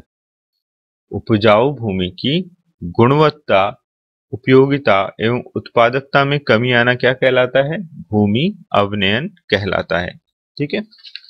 और भूमि अवनयन जो होता है, उसको क्या बोलते हैं? भूमि निम्नीकरण भी कहा जा सकता है। है ना? नेक्स्ट क्वेश्चन देखिए। भूमि अवनयन के कारण क्या है? भूमि अवनयन के कारण क्या है? तो भूमि अवनयन के जो कारण है, वो मृदा प्रदन है, मृदा लवणता में वृद्धि है, अत्यधिक खनन है, वनों की कटाई है, मरुस्थलीकरण है, अति पशुचारण है है ना? विकासात्मक कार्य, अधिक सिंचाई, नहरी जल का रिसाव, शहरी ठोस खर्चा व औद्योगिक अपशिष्ट, रासायनिक खाद और कीटनाशकों का उपयोग आदि। ये सभी जो कारण हैं, ये क्या है? भूमि अवनयन के कारण बनते हैं। नेक्स्ट क्वेश्चन देखिए। भारत का सबसे बड़ा महानगर जो सात द्वीपों पर बसा हुआ था, लेकिन वर्तमान में मुख्य भूमि का हिस्सा है। भारत का सबसे बड़ा महानगर जो सात द्वीपों पर बसा हुआ था, लेकिन वर्तमान में मुख्य भूमि का हिस्सा है। ऐसा कौन सा महानगर है? ऐसा महानगर है मुंबई। जो मुंबई था, वो किसी समय पे सात द्वीपों पर बसा हुआ था, लेकिन जो बीच में जो जगह थी समुद्र के द्वीपों के बीच में उसमें बहुत सारी चीज़ें भर कर उस चीज़ को ढक दिया गया और उस समुद्र के द्वीपों के बीच में उसको भर दिया गया। इससे क्या हुआ? एक तरीके से हमने जो समुद्र की जो भूमि है, उसका उपयोग कर लिया। किसके लिए? अपने निवास स्थान के लिए, अपनी उपयोग के लिए उसको चेंज कर दिया गया, है ना? तो जिससे क्या हुआ? उससे हमने एक तरीके से उस भूमि का यूज़ कर लिया जो किसी और चीज़ के हिस्से में थी इससे क्या हो गया? हम एक जगह किसी भी भूमि का क्षेत्र को बढ़ाएँगे। मान लीजिए चारागाह का भूमि हमने बढ़ा दी तो कहीं ना कहीं दूसरी जगह की घटेगी, क्योंकि ऐसा तो हो नहीं सकता कि विश्व का क्षेत्रफल बढ़ जाए। तो क्या होगा कि हम अगर किसी भी प्रतिशत को हम बढ़ाते हैं तो दूसरी जगह वो घट जाती है। और ये असंतुलन पैदा करती है है ना? चलिए नेक्स्ट क्वेश्चन देखिए। बाँध जिन्हें प्राकृतिक जल स्रोतों की घटनाओं से स्थलों की रक्षा हेतु बनाया जाता है, क्या कहलाता है? बाँध जिन्हें प्राकृतिक जल स्रोतों की घटनाओं से स्थलों की रक्षा हेतु बनाया जाता है, क्या कहलाता है? नीदरलैंड जो देश है, वहाँ पर जो किनारे वाले जो क्षेत्र हैं, वहाँ पर समुद्र के पानी से सेफ्टी के लिए जब ज्वार भाटा आता है तो पानी बहुत ज़्यादा ऊंचाई पे चला जाता है। तो ऐसी स्थिति में उसे बचाव के लिए बड़े बड़े बाँध बना दिए गए। उनके लिए ये चीज़ें यूज़ की जाती हैं। तो ये क्या कहलाती हैं? पोल्डर कहलाती हैं। ये क्या कहलाता है? पोल्डर ऐसे बाँध क्या कहलाते हैं? जो प्राकृतिक जल स्रोतों की घटनाओं से सुरक्षा प्रदान करें, वो पोल्डर कहलाते हैं। और ये कहाँ है? नीदरलैंड का उत्तर पश्चिमी जो भाग है, वहाँ पर ये पोल्डर बनाए गए हैं। नेक्स्ट क्वेश्चन देखिए। पश्चिमी राजस्थान के मरुस्थलीय भाग के विस्तार को रोकने के लिए किस अनुसंधान केंद्र की स्थापना की गई है? पश्चिमी राजस्थान के मरुस्थलीय भाग के विस्तार को रोकने के लिए किस अनुसंधान केंद्र की स्थापना की गई है? तो किस अनुसंधान केंद्र की स्थापना की गई है? जोधपुर में है ये, और केंद्रीय शुष्क क्षेत्रीय अनुसंधान केंद्र कहा जाता है इसको। केंद्रीय शुष्क क्षेत्र अनुसंधान केंद्र, और इसको शॉर्ट में क्या कहा जाता है? काजरी। C A Z R I काजरी। देखिए, जो ये काजरी है, इसका काम क्या है? मरुस्थल में जो पेड़ पौधे हैं, चारागाह, पशु, जल, मृदा का जो संरक्षण है, वो करना और मरुस्थल की पारिस्थितिकी को बनाए रखना, यानी संतुलन बनाए रखना ही इसका मुख्य उद्देश्य है। इस चैप्टर में देखिए, एक क्वेश्चन तो ये है, जो अनुसंधान केंद्र है इसके बारे में कई बार रिपीट हुआ है, और एक इससे भी ज़्यादा इंपॉर्टेंट जो था, वो है, भारत में जो कृषि भूमि का जो प्रतिशत है, वो बहुत बार क्वेश्चन पेपर्स में आता है तो इन दो क्वेश्चंस पे आप स्टार मार्क कर लीजिए, ये बहुत इंपॉर्टेंट है है ना? तो इसी के साथ आपका ये चैप्टर समाप्त होता है, इस क्लास सेवन का चैप्टर नंबर फिफ्थ तो चलिए, बिना देरी के हमेशा की तरह स्टार्ट करते हैं। वनस्पति किसे कहा जाता है? वनस्पति किसे कहा जाता है? तो वनस्पति किसे कहा जाता है? भौगोलिक परिवेश में स्थित वृक्ष, छोटे पौधे, लताएँ, झाड़ियाँ, घास, काई आदि को सम्मिलित रूप से क्या कहा जाता है? वनस्पति कहा जाता है। चलिए और इसमें देखिए, विश्व में विभिन्न भागों में अलग अलग जलवायु होती है, अलग मिट्टी होती है और भी बहुत सारे टाइप के अंतर होते हैं। तो इस वजह से अलग अलग वनस्पतियाँ भी पाई जाती हैं और जो वनस्पति वाले जो क्षेत्र हैं अलग अलग जगह को, उनको हम अलग अलग प्रकार से पढ़ते हैं। जैसे सदाबहार वन, पतझड़ी वन, भूमध्य सागरीय वन कौणधारी यानी टैगा वन, घास के मैदान, मरुस्थलीय वन, इनके रूपों में हम इनको पढ़ते हैं और इस चैप्टर के अंदर हम इन्हीं के बारे में बात करेंगे। चलिए नेक्स्ट क्वेश्चन देखिए। सदाबहार वनों को उनके भौगोलिक आधार पर कितने प्रकार में वर्गीकृत किया जाता है? सदाबहार वनों को उनके भौगोलिक आधार पर कितने प्रकार में वर्गीकृत किया जाता है? तो इसका आंसर क्या होगा? दो भागों में वर्गीकृत किया जाता है। कौन कौन से? शीतोष्ण कटिबंधीय सदाबहार वन और उष्ण कटिबंधीय सदाबहार वन। शीतोष्ण कटिबंधीय सदाबहार वन और उष्ण कटिबंधीय सदाबहार वन। ठीक है? तो जैसे उष्ण कटिय सदाबहार वन की बात करें तो ये कहाँ से कहाँ तक पाए जाते हैं? ये भूमध्य रेखा के आसपास पाए जाते हैं। ये अत्यधिक गर्म होते हैं, अधिक वर्षा वाले क्षेत्रों में ये होते हैं। यहाँ जो वर्षा होती है, वह कैसी वर्षा होती है? संवहनीय वर्षा होती है। कैसी वर्षा होती है? संवहनीय वर्षा होती है। और सदाबहार वन क्यों कहा जाता है? सबसे मेन बात। सदाबहार वन इसलिए कहा जाता है क्योंकि इसमें अलग अलग टाइप के बहुत वृक्ष पाए जाते हैं। कोई अपने पत्ते कभी झड़ाता है, किसी के पत्ते कभी चढ़ते हैं। तो ऐसी स्थिति में वो हमेशा हरा भरा ही दिखाई देता है। और फिर इसमें सर्वाधिक लताएँ पाई जाती हैं इस प्रकार के जंगलों में। मतलब वृक्षों पे सबसे ज़्यादा जो लताएँ जिस वन क्षेत्र में पाई जाती हैं, वो सदाबहार वन है। तो इस वजह से हमेशा सदा हमेशा हरा भरा दिखाई देता है। इस वजह से इसको क्या कहा जाता है? सदाबहार वन कहा जाता है। चलिए नेक्स्ट क्वेश्चन देखिए। उष्ण कटिबंधीय सदाबहार वन भूमध्य रेखा से कितने अक्षांश तक पाए जाते हैं? उष्ण कटिबंधीय सदाबहार वन भूमध्य रेखा से कितने अक्षांश तक पाए जाते हैं? तो कितने अक्षांश तक पाए जाते हैं? ये पाए जाते हैं 10 डिग्री उत्तर व 10 डिग्री दक्षिणी अक्षांश तक। आपके भूमध्य रेखा जो है, विश्वतीय रेखा जो है, उसे 10 डिग्री उत्तर अक्षांश और 10 डिग्री दक्षिणी अक्षांश तक ये वन पाए जाते हैं। और जब हम इनकी बात करें तो इसका एग्ज़ाम्पल अगर दें तो कौन से जंगल हैं? जो अमेजन के जंगल हैं, है ना?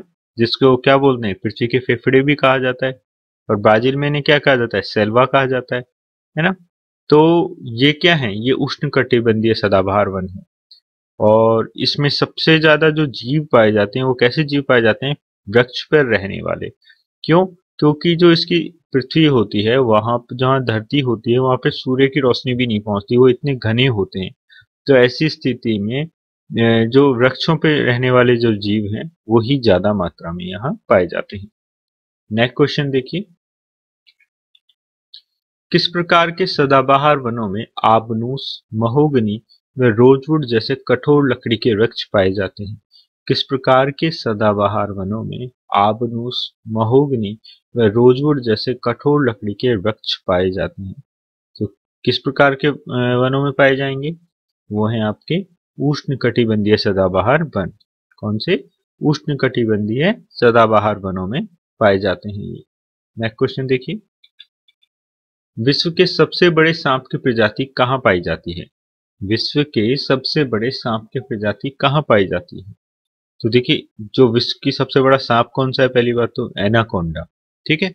जो बहुत बड़ा होता है और ये कहाँ पाया जाता है? दक्षिणी अमेरिका के वनों में। दक्षिणी अमेरिका के वनों में पाया जाता है है ना? नेक्स्ट क्वेश्चन देखिए।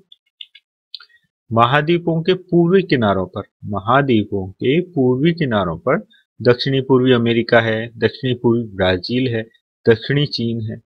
है ना? इसमें किस प्रकार के सदाबहार वन पाए जाते हैं?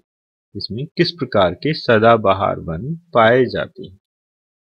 तो कैसे पाए जाते हैं? शीतोष्ण कटिबंधीय वन पाए जाते हैं यहाँ पे। कैसे वन पाए जाते हैं? शीतोष्ण कटिबंधीय वन पाए जाते हैं। नेक्स्ट क्वेश्चन देखिए। किस प्रकार के सदाबहार वनों में यूकेलिप्टस तथा चीड़ जैसे वृक्ष अधिक पाए जाते हैं? किस प्रकार के सदाबहार वनों में यूकेलिप्टस तथा चीड़ जैसे वृक्ष अधिक पाए जाते हैं? तो किस प्रकार के वनों में पाए जाते हैं? वो होते हैं शीतोष्ण कटिबंधीय सदाबहार वनों में। शीतोष्ण कटिबंधीय सदाबहार वनों में यूकेलिप्टस तथा चीड़ जैसे वृक्ष अधिक पाए जाते हैं। ठीक है? और चलिए नेक्स्ट क्वेश्चन देखिए। पतझड़ी वनों को उनके भौगोलिक आधार पर कितने प्रकार में वर्गीकृत किया जाता है? पतझड़ी वनों को उनके भौगोलिक आधार पर कितने प्रकार में वर्गीकृत किया जाता है? तो इसका क्या आंसर है? इसके आंसर है, दो भागों में विभक्त किया जाता है। एक तो शीतोष्ण कटिबंधीय पतझड़ी वन होता है और दूसरा उष्ण कटिबंधीय मानसूनी वन होता है। पहला कौन सा है? शीतोष्ण कटिबंधीय पतझड़ी वन और दूसरा है उष्ण कटिबंधीय मानसूनी वन। नेक्स्ट क्वेश्चन देखिए। दक्षिणी तथा दक्षिणी पूर्वी एशिया, दक्षिणी चीन, पश्चिमी द्वीप समूह उत्तरी ऑस्ट्रेलिया, पूर्वी अफ्रीका व ब्राज़ील के तटीय क्षेत्रों में किस प्रकार के पतझड़ी वन पाए जाते हैं? तो किस प्रकार के पतझड़ी वन पाए जाते हैं? उष्ण कटिबंधीय पतझड़ी वन पाए जाते हैं, जिनको हम क्या कहते हैं? पर्णपाती वन भी कहते हैं। ठीक है, ये क्या है? शुष्क मौसम में जो जल संरक्षण हेतु ये क्या करते हैं? छह से आठ सप्ताह तक के लिए अपनी पत्तियाँ गिरा देते हैं। इसमें जो वृक्ष वगैरह होते हैं, जो पौधे होते हैं, वो क्या करते हैं? छह से आठ सप्ताह के लिए, यानी करीबन डेढ़ से दो माह के लिए इनकी जो पत्तियाँ हैं, वो गिर जाती हैं शुष्क मौसम में। इससे क्यों गिराती हैं? ताकि वो अपना जल को सुरक्षित रख सके। जब आप साइंस में देखेंगे तो स्टोमेटा होता है, जिसकी वजह से जल निकास हो जाता है पत्तियों का तो उसको रोकने के लिए पत्तियों को झड़ा देते हैं, है ना? तो इससे क्या होगा? वहाँ पे पतझड़ का मौसम दिखाई देता है। यहाँ पे किस टाइप के पेड़ पाए जाते हैं? नीम है, शीशम है, महुआ, जामुन, साल और सागवान के वृक्ष यहाँ बहुत ज़्यादा मात्रा में पाए जाते हैं। और फर्नीचर के लिए आपको पता होगा, सागवान की लकड़ी बहुत अच्छी मानी जाती है है ना? चलिए, नेक्स्ट क्वेश्चन देखिए। न्यूजीलैंड, चिली उत्तरी पूर्वी अमेरिका तथा पश्चिमी यूरोप के तटीय भागों में किस प्रकार के पतझड़ी वन पाए जाते हैं? न्यूजीलैंड चिली, उत्तर पूर्वी अमेरिका तथा पश्चिमी यूरोप के तटीय भागों में किस प्रकार के पतझड़ी वन पाए जाते हैं? तो किस प्रकार के पाए जाते हैं? शीतोष्ण कटिबंधीय पतझड़ी वन। कौन से? शीतोष्ण कटिबंधीय पतझड़ी वन यहाँ पाए जाते हैं। ठीक है? और दूसरी बात, यहाँ जो आपकी उष्ण कटिबंधीय पतझड़ी वन थी उसमें कैसे कौन कौन से जानवर पाए जाते हैं? हाथी, घोड़ा, गेंडा, जंगली भैंसा, बाघ, शेर, लघु और बंदर। लेकिन जब आप शीतोष्ण कटिबंधीय पतझड़ी वन की बात करते हैं तो यहाँ कौन कौन से पाए जाते हैं? यहाँ भेड़िया हिरण लोमड़ी जैसे प्रमुख जानवर यहाँ पाए जाते हैं। दूसरा ये उच्च अक्षांश में शीतोष्ण पतझड़ी वन पाए जाते हैं, है ना? चलिए नेक्स्ट क्वेश्चन देखिए। भूमध्य सागरीय वन कहाँ पाए जाते हैं? भूमध्य सागरीय वन कहाँ पाए जाते हैं? तो कहाँ पाए जाते हैं? महाद्वीपों के पश्चिम तथा दक्षिणी पश्चिम किनारों पर दोनों गोलार्धों में 30 डिग्री से 40 डिग्री अक्षांशों के मध्य दोनों गोलार्ध कौन से? उत्तरी गोलार्ध और दक्षिणी गोलार्ध। विश्वतीय रेखा से हमारा पृथ्वी को दो भागों में बांटा गया है ना? उत्तरी और दक्षिणी गोलार्ध। तो कहाँ पे 30 डिग्री से 40 डिग्री तक अक्षांशों के मध्य दोनों गोलार्धों में पाए जाते हैं, महाद्वीपों के पश्चिम तथा दक्षिण पश्चिम किनारों पर। ठीक है? और इस प्रकार के वनस्पति भूमध्य सागर के निकट क्षेत्रों में होती है, इसलिए इसको क्या कहा जाता है? भूमध्य सागरीय कहा जाता है। और पश्चिमी एशिया है, उत्तरी अफ्रीका है, दक्षिणी यूरोप में भूमध्य सागर की किनारों पर पश्चिमी यूएस यूएस में कैल, कैलिफ़ोर्निया है दक्षिण अफ्रीका के दक्षिणी पश्चिम भाग में दक्षिण अमेरिका के मध्य चिली में दक्षिणी पश्चिमी ऑस्ट्रेलिया में ऑस्ट्रेलिया में इन प्रदेशों में क्या होता है? इन प्रदेशों में शुष्क एवं शीतकाल में वर्षा होती है। शुष्क एवं शीतकाल में भी वर्षा होती है। तो यहाँ पे कौन से वन पाए जाते हैं? भूमध्य सागरीय वन पाए जाते हैं। नेक्स्ट क्वेश्चन देखिए। विश्व का फलोद्यान किसे कहा जाता है? विश्व का फलोद्यान किसे कहा जाता है? तो विश्व का फलोद्यान किसे कहा जाता है? भूमध्य सागरीय वनों को कहा जाता है। क्यों? क्योंकि यहाँ पे जो है, विश्व में जैतून हुए, अंगूर, संतरा, अंजीर, नींबू वर्गीय जो रसदार फल हैं, उनकी सर्वाधिक कृषि इसी क्षेत्र में होती है। क्या होती है? जैतून, अंगूर, संतरा, अंजीर, नींबू वर्गीय रसदार फलों की सर्वाधिक कृषि इस क्षेत्र में होती है। इस वजह से इसको विश्व का फलोद्धान कहा जाता है। ये आप क्वेश्चन बहुत बार रिपीट हो चुका है तो इसको आप याद रखिएगा। और यहाँ पे बहुत फ़ेमस जो है, कंगारू बहुत मात्रा में इस जगहों पे मिलता है। ठीक है? चलिए नेक्स्ट क्वेश्चन देखिए। रूस में सर्वाधिक किस प्रकार के वन पाए जाते हैं? रूस जो आपका देश है, उसमें किस प्रकार के वन सर्वाधिक पाए जाते हैं? तो उसमें सर्वाधिक पाए जाते हैं कौणधारी वन। कौणधारी वन जो होते हैं वो सबसे ज़्यादा इसमें पाए जाते हैं। उत्तरी गोलार्ध के जो पचास डिग्री से सत्तर डिग्री अक्षांश का जो एरिया है, उत्तरी गोलार्ध में 50 डिग्री से 70 डिग्री के अक्षांश का जो एरिया है, वहाँ पर ये उत्तर अमेरिका तथा यूरेशिया के बहुत सारे हिस्से में ये पाए जाते हैं। ठीक है? दक्षिणी गोलार्ध में ये नहीं पाए जाते। क्यों नहीं पाए जाते? क्योंकि वहाँ पर तो पृथ्वी ही नहीं है। वहाँ पे मतलब धरती का वो हिस्सा ही नहीं है मतलब ठोस धरती, जहाँ महाद्वीप है ही नहीं, है ना? तो वहाँ जलीय भाग है, जलीय स्रोत है, समुद्र है तो वहाँ पर ये नहीं पाए जाते। चलिए नेक्स्ट क्वेश्चन देखिए। टैगा वन किस प्रकार के वनों को कहा जाता है? टैगा वन किस प्रकार के वनों को कहा जाता है? देखिए टैगा वन किसको कहा जाता है? कौनधारी वनों को ही टैगा वन कहा जाता है कनाडा के अंदर। कहाँ पे? कनाडा के अंदर। दूसरा, ये सदाबहार वन भी होते हैं। क्यों होते हैं ये सदाबहार वन? क्योंकि इनकी जो पत्तियाँ हैं, वो बहुत नुकीली होती हैं और लकड़ी बहुत मुलायम होती है। और इस वजह से ये हमेशा हरे भरे रहते हैं, लेकिन, और वो क्यों रहते हैं? क्योंकि ताकि ज़्यादा मात्रा अगर जल की इसके अंदर चली जाती है तो वृक्ष गल जाते हैं। तो उससे बचने के लिए इनकी जो पत्तियाँ हैं, वो बहुत नुकीली और छोटी होती हैं। चलिए नेक्स्ट क्वेश्चन देखिए। देवदार, चीड़, larch, spruce, pine, birch, fir जैसे वृक्ष किस प्रकार के वनों में पाए जाते हैं? देवदार, चीड़, larch, spruce, pine, birch, fir जैसे वृक्ष किस प्रकार के वनों में पाए जाते हैं? तो किस प्रकार के वनों में पाए जाते हैं? कौनधारी वनों में ये वृक्ष पाए जाते हैं। आपकी कागज़ बनाने की जो लुगदी है, माचिस जो आती है, पैकिंग बनाने के जो डिब्बे जो आपकी जिस लकड़ी के बनते हैं। ये सारे कहाँ से? इनका रॉ मटेरियल इन वनों से बहुत आसानी से मिल जाता है। यहाँ पे मोस्टली कौन कौन से जानवर पाए जाते हैं? बारहसिंगा है, लोमड़ी है और ध्रुवीय भालू इन क्षेत्रों में पाए जाते हैं। चलिए नेक्स्ट क्वेश्चन देखिए।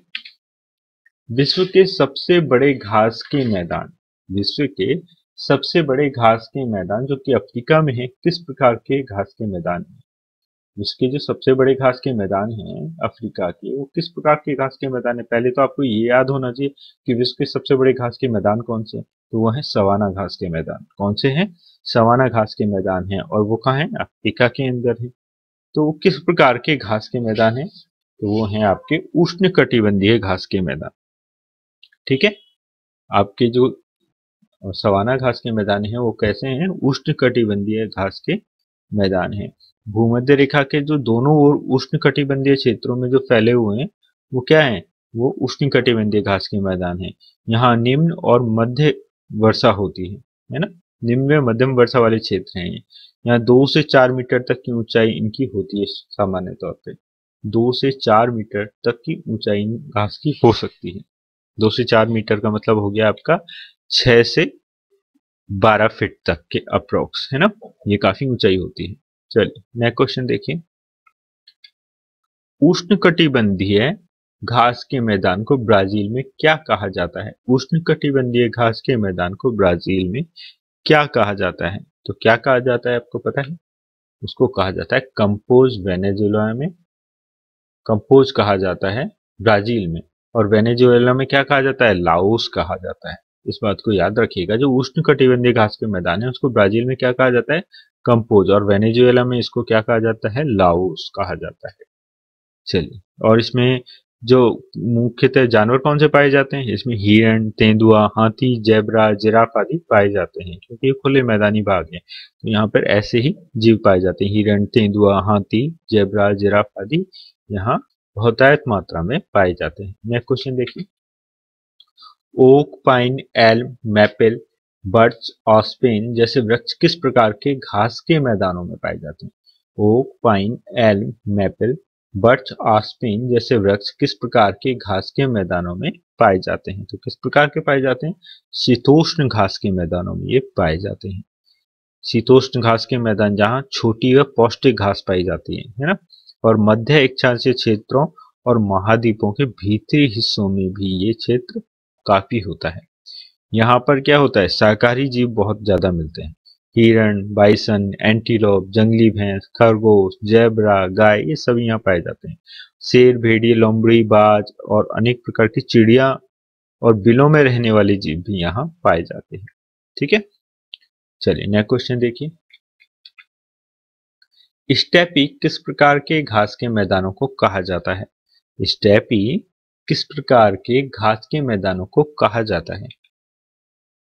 तो स्टेपी जो है, वो देखिए, स्टेपी जो घास के मैदान हैं, उनको शीतोष्ण घास के मैदानों को कहा जाता है। और दूसरा, ये कहाँ है? यूरेशिया के मध्यवर्ती भाग में बहुत ज़्यादा है। यूरेशिया के जो मध्यवर्ती भाग में, ये बहुत ज़्यादा है, शीतोष्ण घास के मैदान। यहाँ पर इनको स्टेपी कहा जाता है। अर्जेंटीना में इन्हीं को पंपास कहा जाता है। उत्तरी अमेरिका में इसको प्रेरी कहते हैं। दक्षिण अफ्रीका में इसको वेल्ड कहा जाता है और ऑस्ट्रेलिया में इसको डाउन्स कहते हैं, है ना? और इस चीज़ को आप इससे देख सकते हैं, देखिए, प्रेरी आपका हो गया, कंपोज हो गया, देखिए, prairie, campos, pampas, llanos, savanna, ये लाओस है है ना? वेल्ड, स्टेपी, डाउन्स, ये सभी क्या है? ये सभी घास के मैदान हैं। चलिए, नेक्स्ट देखते हैं। मरुद्भिद किसे कहा जाता है? मरुद्भिद किसे कहा जाता है? तो देखिए, मरुद्भिद किसे कहा जाता है? मरुस्थल की जो वनस्पति होती है, उसको क्या कहा जाएगा? मरुद्भिद कहा जाता है। और उष्ण कटिबंधीय जो मरुस्थली वन है, महाद्वीपों के जो पश्चिम भाग में 20 डिग्री से 30 डिग्री के अक्षांशों के मध्य ये पाए जाते हैं। चलिए नेक्स्ट देखिए।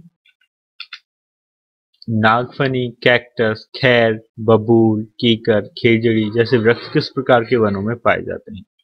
नागफनी कैक्टस खैर, बबूल, कीकर खेजड़ी जैसे वृक्ष किस प्रकार के वनों में पाए जाते हैं? तो इनसे हम सभी परिचित हैं। ये उष्ण कटिबंधीय मरुस्थलीय वन क्षेत्र हैं जिनमें ये पाए जाते हैं। उष्ण कटिबंधीय मरुस्थलीय वन क्षेत्रों में ये पाए जाते हैं। ठीक है? और इनका जो, ये कहाँ, ऐसी जगह पे पाए जाते हैं जहाँ का टेम्परेचर बहुत ज़्यादा होता है। वर्षा बहुत कम होती है 25 सेंटीमीटर से भी कम होती है। तो ऐसी स्थिति में क्या होगा? वनस्पति की जो ऊंचाई है वो भी कम होती है। पत्तियाँ छोटी होती हैं और मोटी भी होती हैं। जड़ें पानी लेने की वजह से गहरी होती हैं क्योंकि इनका जो आ, क्या बोलते हैं मरुभूमि का जो सॉरी जो पृथ्वी का जो आ, गहराई में जो जल होता है वो बहुत ज़्यादा निम्न होता है बहुत नीचाई पे होता है। इसकी वजह से जो यहाँ पे वृक्ष होते हैं उनकी जो जड़ें हैं बहुत गहरी हुआ करती हैं। चलिए नेक्स्ट क्वेश्चन देखिए। उष्ण कटिबंधीय मरुस्थलीय वनों के उदाहरण हैं। उष्ण कटिबंधीय मरुस्थलीय वनों के उदाहरण देखिए। सहारा, उत्तर अफ्रीका में पाया जाए कालाहरी, जो रेगिस्तान है, वो कहाँ पे है? दक्षिण अफ्रीका में है। कैलिफ़ोर्निया, एरिजोना और मैक्सिको, ये कहाँ है? उत्तर अमेरिका में है। अटाकामा, जो विश्व का सबसे शुष्क मरुस्थल भी है, वो कहाँ पे है? दक्षिण अमेरिका में है। अरब, दक्षिण पश्चिम एशिया में और थार, भारत, पाकिस्तान का जो बहुत बड़ा हिस्सा है, वो आपका रेगिस्तान है थार का रेगिस्तान। है तो ये सब किसके एग्ज़ाम्पल हैं? ये हैं उष्ण कटिबंधीय मरुस्थलीय वनों के क्षेत्र हैं। चलिए नेक्स्ट क्वेश्चन देखिए। शीत मरुस्थलीय वन किस क्षेत्र में सर्वाधिक हैं? शीत मरुस्थलीय वन किस क्षेत्र में सर्वाधिक हैं? तो किस क्षेत्र में है? एशिया, यूरोप व उत्तरी अमेरिका के ध्रुवीय क्षेत्रों में बहुत ज़्यादा है। एशिया, यूरोप व उत्तरी अमेरिका के ध्रुवीय क्षेत्रों में। तो इसको एक मैप से छोटा सा देखते हैं। देखिए, गर्म मरुस्थल आपके दिखाई दे रहे हैं, अटाकामा है है ना? ये आपका अटाकामा हो गया। ये आपका मौजेब हो गया, ग्रेट बैसिन यहाँ पे हो गया आपका। ये गोभी मरुस्थल जो आपकी ठंडा मरुस्थल है है ना? ये आपका कौन सा मरुस्थल है? ये आपका अरब का मरुस्थल है, ये आपका सहारा का मरुस्थल है, कालाहारी मरुस्थल, ये आपका नाबिम का मरुस्थल, ये आपका छोटा सा जो भारत पाकिस्तान के हिस्से में आता है, वो थार का मरुस्थल, ये ऑस्ट्रेलियाई मरुस्थल तो ये सभी मरुस्थलों के डोनेट किया गया है। चलिए, डिनोट किया गया है। नेक्स्ट देखिए। वृक्ष मेला कहाँ और किसकी स्मृति में मनाया जाता है? वृक्ष मेला कहाँ और किसकी स्मृति में मनाया जाता है? देखिए, यहाँ से जो क्वेश्चन आते हैं, ये बहुत इंपॉर्टेंट होते हैं और ये बहुत ज़्यादा रिपीट भी होते हैं तो इनको ध्यान से देखिएगा। वृक्ष मेला विश्व में एक ही जगह मनाया जाता है, खेजड़ेली आंदोलन के बलिदान की स्मृति में मनाया जाता है एक तो ये। कहाँ पे मनाया जाता है? खेजड़ेली आंदोलन की बलिदान की स्मृति में मृग उपवन में मनाया जाता है। मृग उपवन एक जगह का नाम है, जो गाँव खेजड़ेली में है और ये जोधपुर राजस्थान के अंदर आता है। कहाँ पे आता है ये? जोधपुर राजस्थान के अंदर आता है। अमृता देवी विष्णोई एक स्त्री हुई थी। जिन मही, इन महिला की नेतृत्व में 1730 ईस्वी में तीन लोगों ने पेड़ों के लिपट कर अपने बलिदान दिया था उनको बचाने के लिए। अमृता देवी विष्णोई इनके नेतृत्व में ये आंदोलन हुआ था केजड़ली आंदोलन और इसमें तीन लोगों ने अपनी जान दी थी 1730 ईस्वी में है ना? तो इन्हीं की बलिदान की स्मृति में यहाँ पे जो एक क्षेत्र को नाम दिया गया मृग उपवन के नाम से और ये कहाँ पे है? ये स्थान गाँव खे, गाँव खेजड़ली में है जो जोधपुर राजस्थान के अंदर आता है। और इसी उपलक्ष्य में यहाँ पे वृक्ष मेला लगाया जाता है हर साल। और खेजड़ी आंदोलन की स्मृति में ये वृक्ष मेला भरता है। चलिए नेक्स्ट देखें। राजस्थान के किस गाँव में बेटी के जन्म पर 111 वृक्ष लगाने की परंपरा स्थापित की गई है? राजस्थान के किस गाँव में बेटी के जन्म पर 111 वृक्ष लगाने की परंपरा स्थापित की गई है? तो कौन सा गाँव है ये? पिपलांत्री गाँव है। राजसमंद के अंदर यहाँ पर जो बेटी है उसके जन्म पर जो 111 वृक्ष लगाने की परंपरा है और किसी की मृत्यु हो जाती है तो उसके नाम पे भी जो वृक्ष लगाया जाता है उसकी रेगुलर पूजा भी की जाती है। ठीक है? दूसरा आपका जो ये था, वृक्ष मेला था वृक्ष मेला कब भरता है? भाद्रपद में शुक्ल पक्ष दसवीं को ये लगाया जाता है। भाद्रपद शुक्ल पक्ष की दसवीं को वृक्ष मेला लगता है। चलिए नेक्स्ट क्वेश्चन देखिए। चिपको आंदोलन किसके नेतृत्व में हुआ? चिपको आंदोलन किसके नेतृत्व में हुआ? तो किसके नेतृत्व में हुआ? गौरा देवी। देखिए, ये गौरा देवी है और अब आप बोलेंगे सुंदरलाल बहुगुणा जो हैं इनकी तस्वीर यहाँ क्यों दिखाई है? तो इसमें क्या है? उत्तराखंड में 1972 में गाँव की महिलाओं द्वारा वृक्ष से चिपक कर पेट कटने का विरोध किया गया था, जिसका नेतृत्व जो किया था, गौरा देवी ने किया था। और इस आंदोलन में बहुत अहम भूमिका जो निभाई थी, सुंदरलाल बहुगुणा ने जो बताई थी, और यह एक पर्यावरण विद्य थे, ठीक है? ये पर्यावरण विद्य थे। सुंदरलाल बहुगुणा बहुत फ़ेमस भी रहे हैं तो इन्हों, ये भी इस आंदोलन से जुड़े हुए थे। तो ये इन्होंने इसका नेतृत्व किया था और ये एक शख्सियत थी जो उस वक्त इस आंदोलन से जुड़ी थी। तो इन दोनों का ही नाम इस चिपको आंदोलन के मैटर में इंपॉर्टेंट है। ये उत्तराखंड में 1972 में गाँव की महिलाओं द्वारा किया गया था वृक्ष से बचाने के लिए। नेक्स्ट देखिए। अपीको आंदोलन किस राज्य से संबंधित है? अपीको आंदोलन किस राज्य से संबंधित है? अप्पीको जो आंदोलन है, वो कैसे संबंधित है? कर्नाटक राज्य से संबंधित है।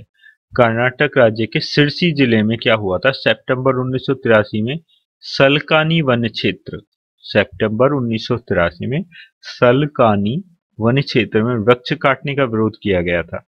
और इसमें क्या किया गया था? लोगों ने बाहों में भरना। अपिको का अर्थ होता है बाहों में भरना। तो लोगों ने वृक्षों को कटने से बचाने के लिए जो आंदोलन छेड़ा था, उसको अपिको आंदोलन कहते हैं और ये कर्नाटक राज्य के सिरसी ज़िले में हुआ था। सितंबर उन्नीस में, है ना? सलकानी वन क्षेत्र में। चलिए नेक्स्ट क्वेश्चन देखिए। लाल आंकड़ा किताब यानी रेड डाटा बुक लाल आंकड़ा किताब यानी रेड डाटा बुक किसके द्वारा बनाई जाती है? किसके द्वारा बनाई जाती है? तो किसके द्वारा बनाई जाती है? ये बनाई जाती है आईयूसीएन के द्वारा, यानी International Union for Conservation of Nature IUCN जो होता है, इसमें जो संकटग्रस्त प्रजातियाँ हैं एंडेंजर्ड स्पीसीज हैं, उनके बारे में डाटा कलेक्ट करता है कि ये प्रजातियाँ हैं, ये अब एंडेंजर्ड स्टेटस में हैं, इनकी विलुप्त होने के कगार पे हैं या होने की संभावना है। तो उनको रिज़र्व कंजर्व करने के लिए ताकि वो सुरक्षित रह सके, इसके लिए वो उनका डाटा कलेक्ट करती है है ना? और उसको कहाँ लिखा जाता है? रेड डाटा बुक में लिखा जाता है। नेक्स्ट क्वेश्चन देखिए। अनावृष्टि का क्या अभिप्राय है? देखिए, अनावृष्टि एक शाब्दिक अर्थ है और उसके बारे में आपको पता होना चाहिए। अनावृष्टि क्या होती है? न्यून वर्षा को हम अनावृष्टि कहते हैं। अनावृष्टि का क्या अभिप्राय है? न्यून वर्षा, यानी कम वर्षा होना अनावृष्टि होता है। नेक्स्ट क्वेश्चन देखिए। वनोन्मूलन किसे कहा जाता है? वनोन्मूलन किसे कहा जाता है? डिफॉरेस्टेशन यानी, है ना? इसका मतलब क्या हुआ? वनों के जैविक संपदा का हास, वनों के जैविक संपदा का हास। वनोन्मूलन का अर्थ केवल ये नहीं है कि पेड़ काटना, केवल पेड़ काटना नहीं है।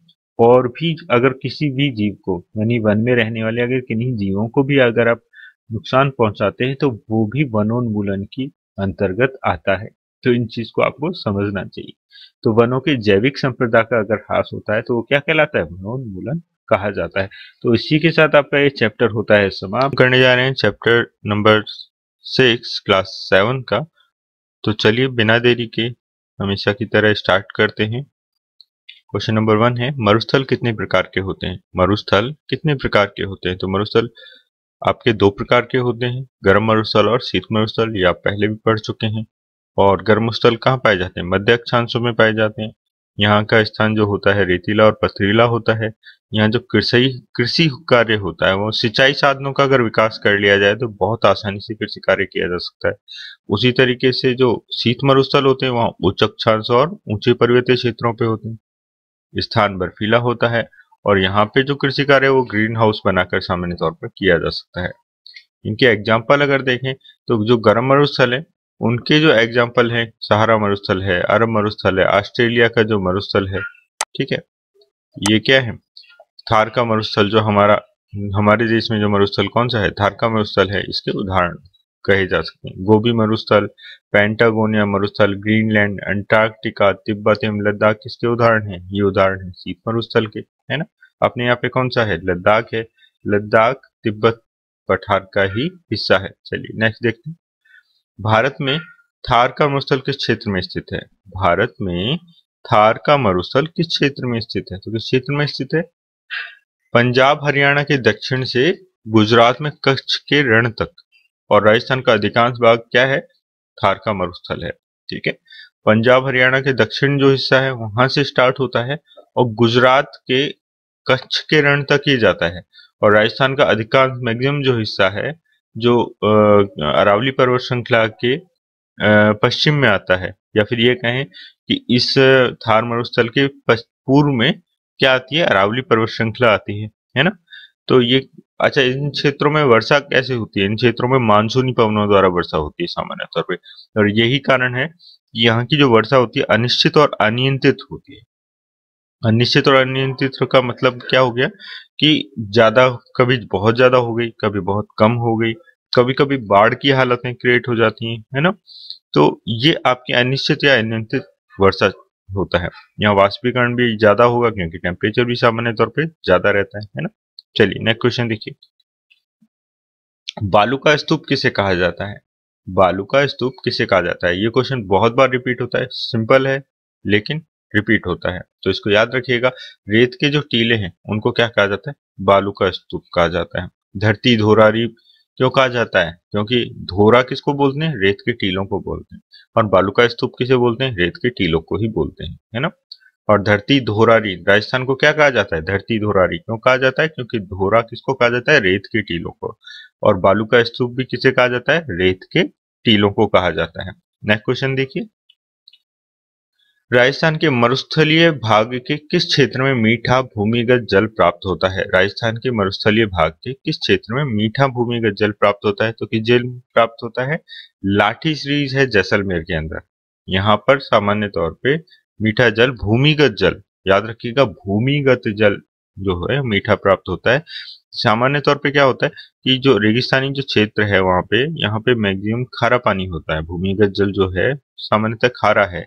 लेकिन केवल जो सॉरी ये जैसलमेर के जो, जैसलमेर ज़िले के लाठी श्री क्षेत्र है, यहाँ पर मीठा जल, भूमिगत जल प्राप्त होता है। यहाँ पे किस प्रकार के वृक्ष पाए जाते हैं? बबूल हो गया, खेजड़ी हो गया, रोहिड़ा हो गया। यहाँ के ये मुख्य वृक्ष हैं, बबूल, खेजड़ी और रोहिड़ा। नेक्स्ट क्वेश्चन देखिए।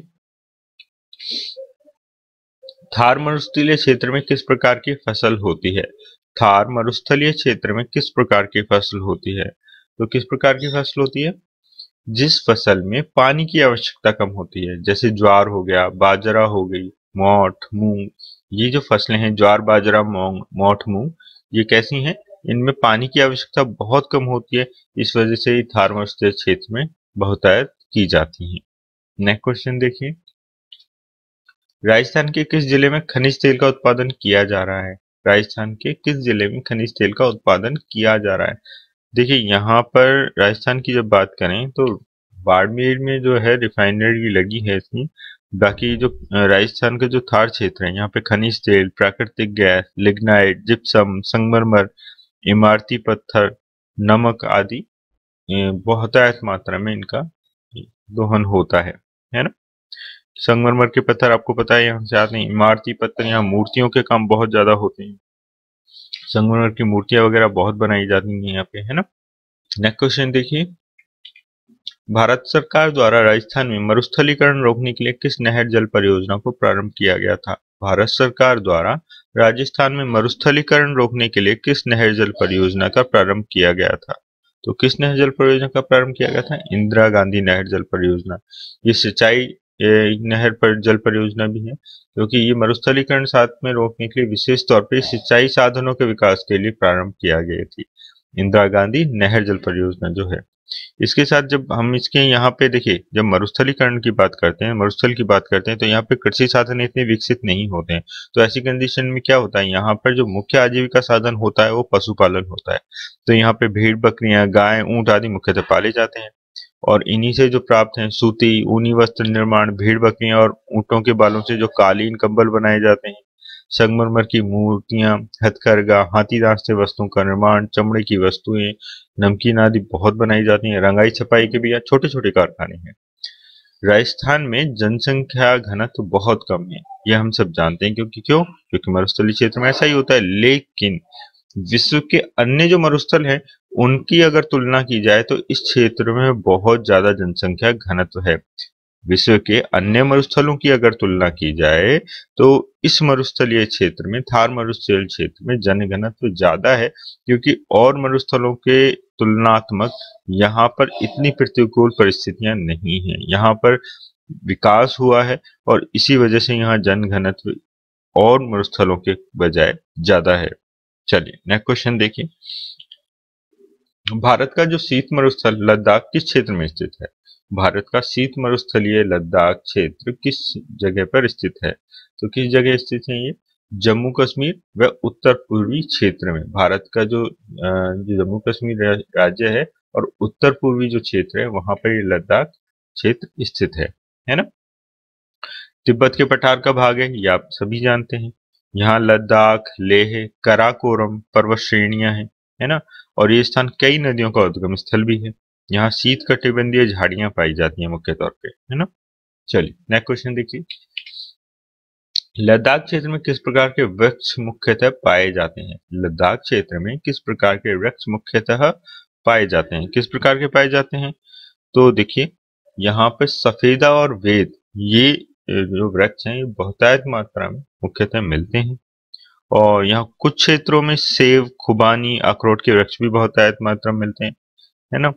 और जो सफेदा और वेद है, इसकी लकड़ियाँ सामान्य तौर पर मकानी और ईंधन के रूप में यूज़ की जाती है, ठीक है? यहाँ पर लोग क्या है, मुद्रा का लेन देन कम करते हैं, बजाय वो चीज़ों का लेन देन ज़्यादा करते हैं, ठीक है? जैसे उन्हें मान लीजिए वहाँ उन्होंने फ़सल की छोटी मोटी और उनकी निर्वाह जो कृषि थी उससे थोड़ी सी ज़्यादा उनकी हो गई। तो वो, वो क्या करते हैं वो उन व्यापारियों को बेच देते हैं लद्दाखी व्यापारियों को बेच देते हैं और उसके बदले उनसे जानवर ले लेते हैं भेड़ बकरियाँ ले लेते हैं। तो इस तरीके से वहाँ पर क्या मुद्रा के स्थान पर वस्तु का लेन देन ज़्यादा चलता है।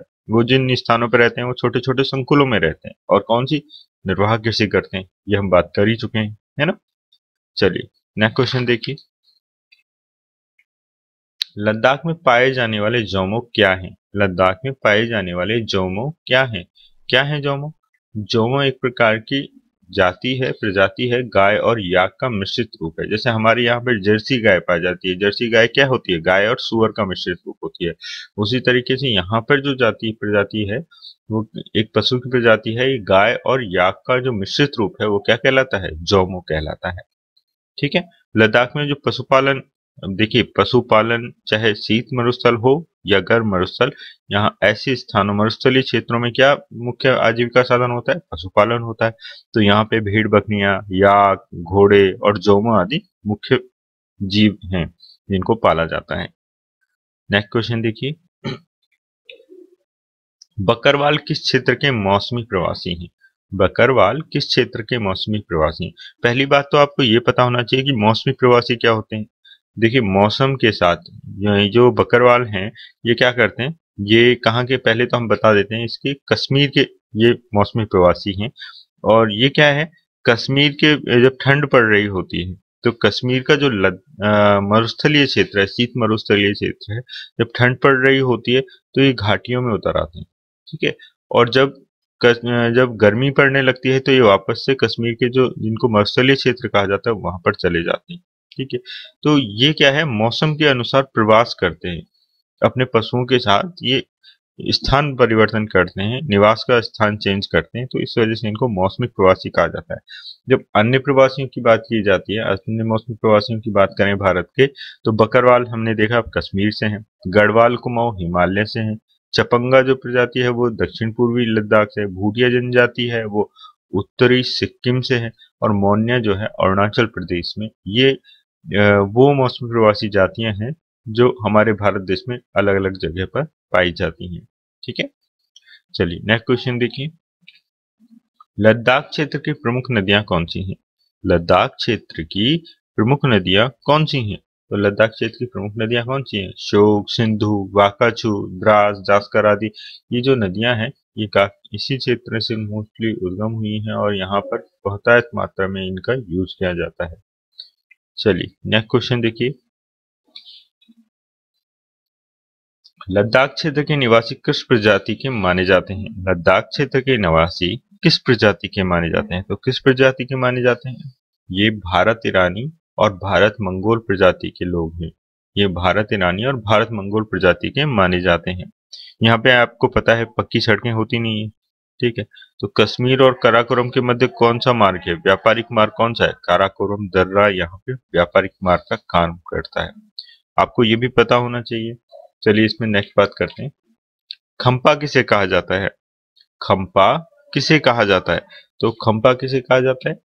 खंपा कहा जाता है। लद्दाख क्षेत्र में पत्थर और गाड़ी से जो बनाए हुए घर होते हैं इनके, उनको क्या कहते हैं ये लोग? खंपा कहते हैं। क्षेत्रीय भाषा में क्या कहा जाता है? खंपा कहा जाता है।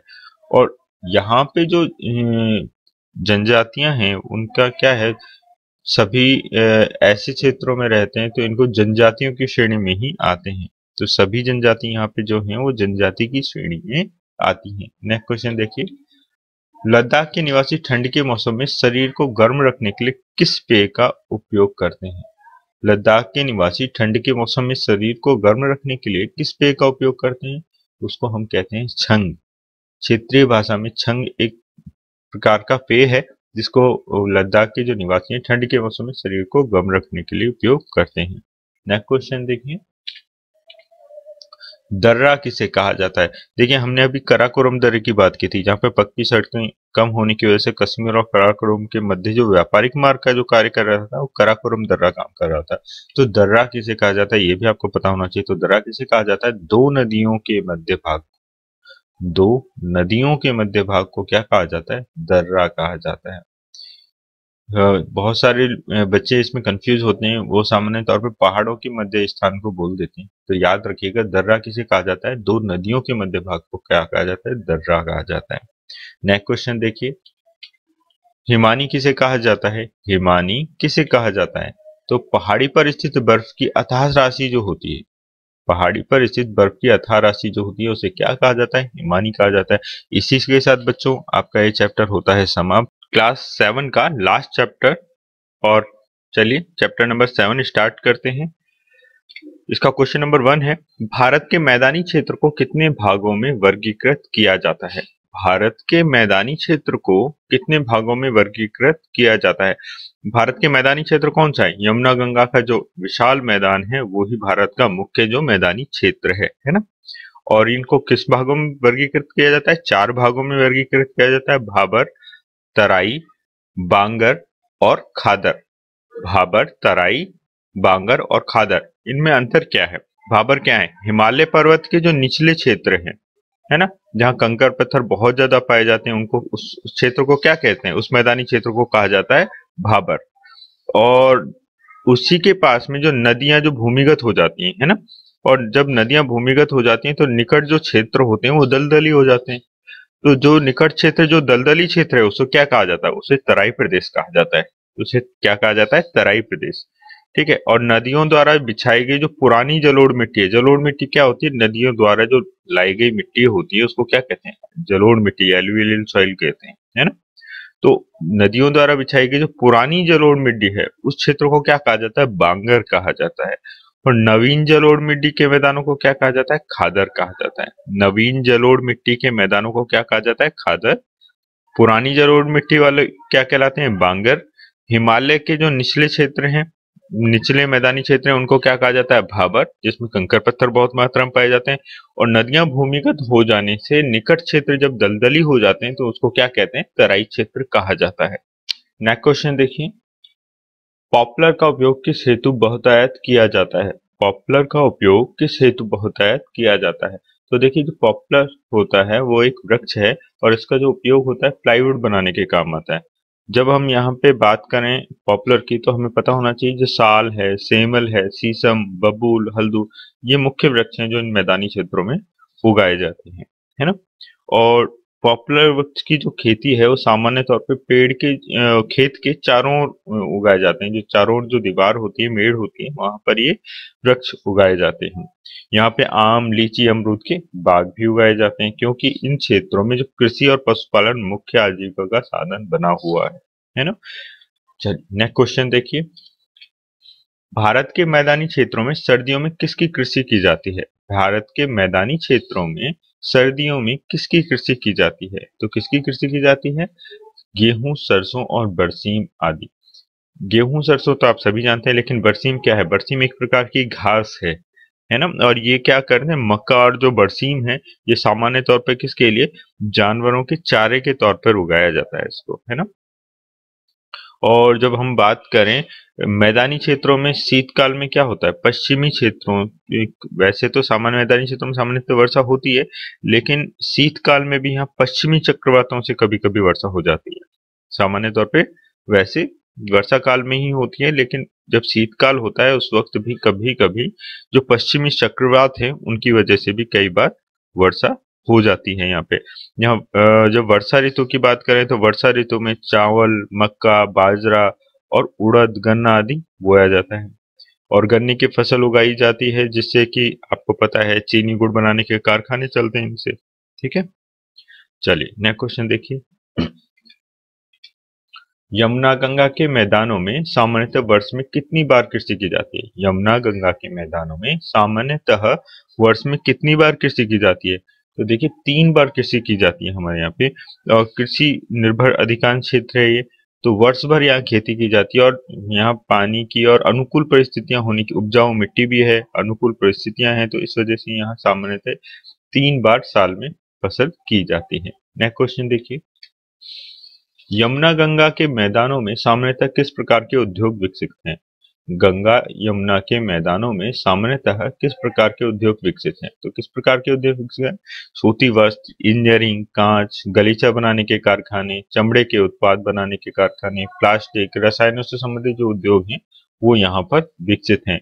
जब यहाँ के मुख्य औद्योगिक क्षेत्रों की बात करें तो कानपुर, आगरा, अलीगढ़, मेरठ, मुरादाबाद, फिरोजाबाद, सहारनपुर, ये ऐसे मुख्य क्षेत्र हैं जहाँ पर सामान्य तौर पर काफ़ी उद्योग विकसित हो चुके हैं। नेक्स्ट क्वेश्चन देखिए।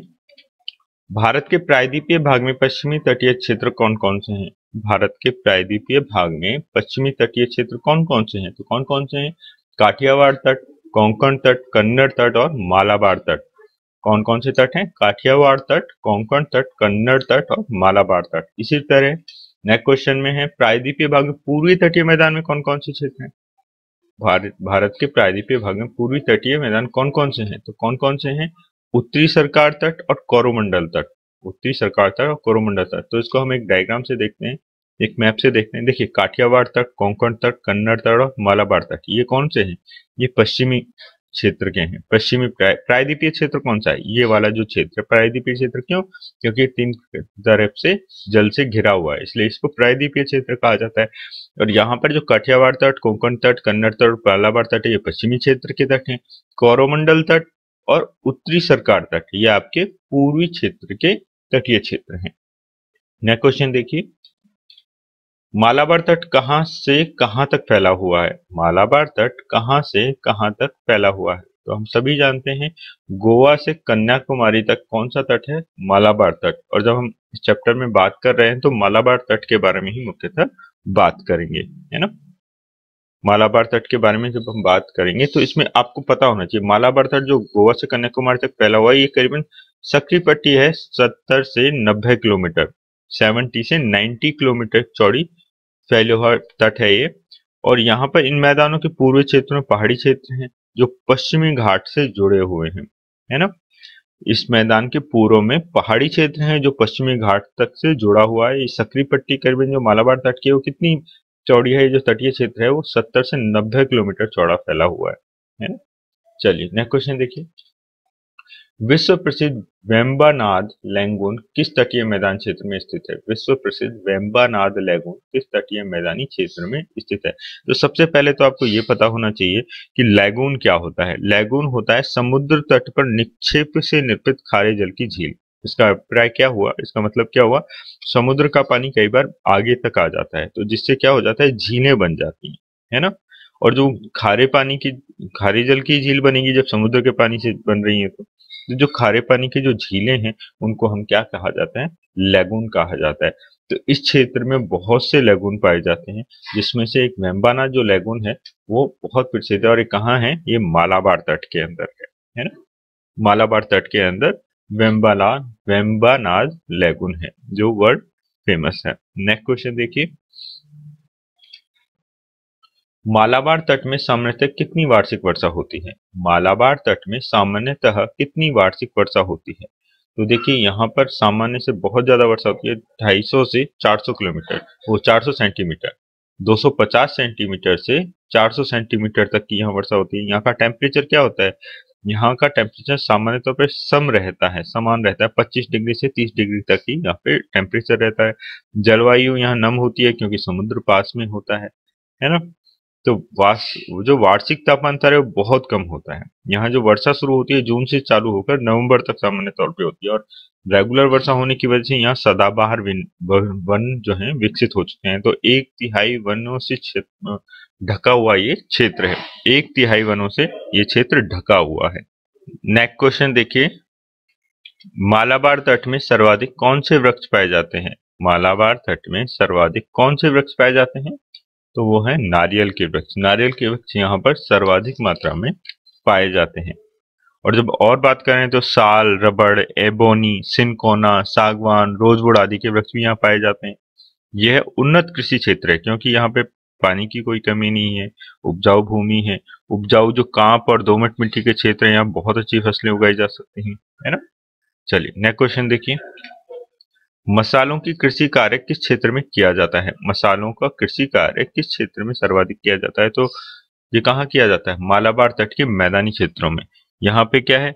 देखिए, मैदानी भागों में यहाँ पे कृषि जो होती है, काली मिर्च है, लौंग है, इलायची है और अन्य बहुत सारे मसालों की यहाँ कृषि की जाती है। और यहाँ मैदानी भागों में नारियल सुपारी और काजू भी बहुत मात्रा में पैदा होता है। नेक्स्ट क्वेश्चन देखिए। पश्चिमी घाट के पहाड़ी क्षेत्रों में किसके उद्यान विकसित किए जाते हैं?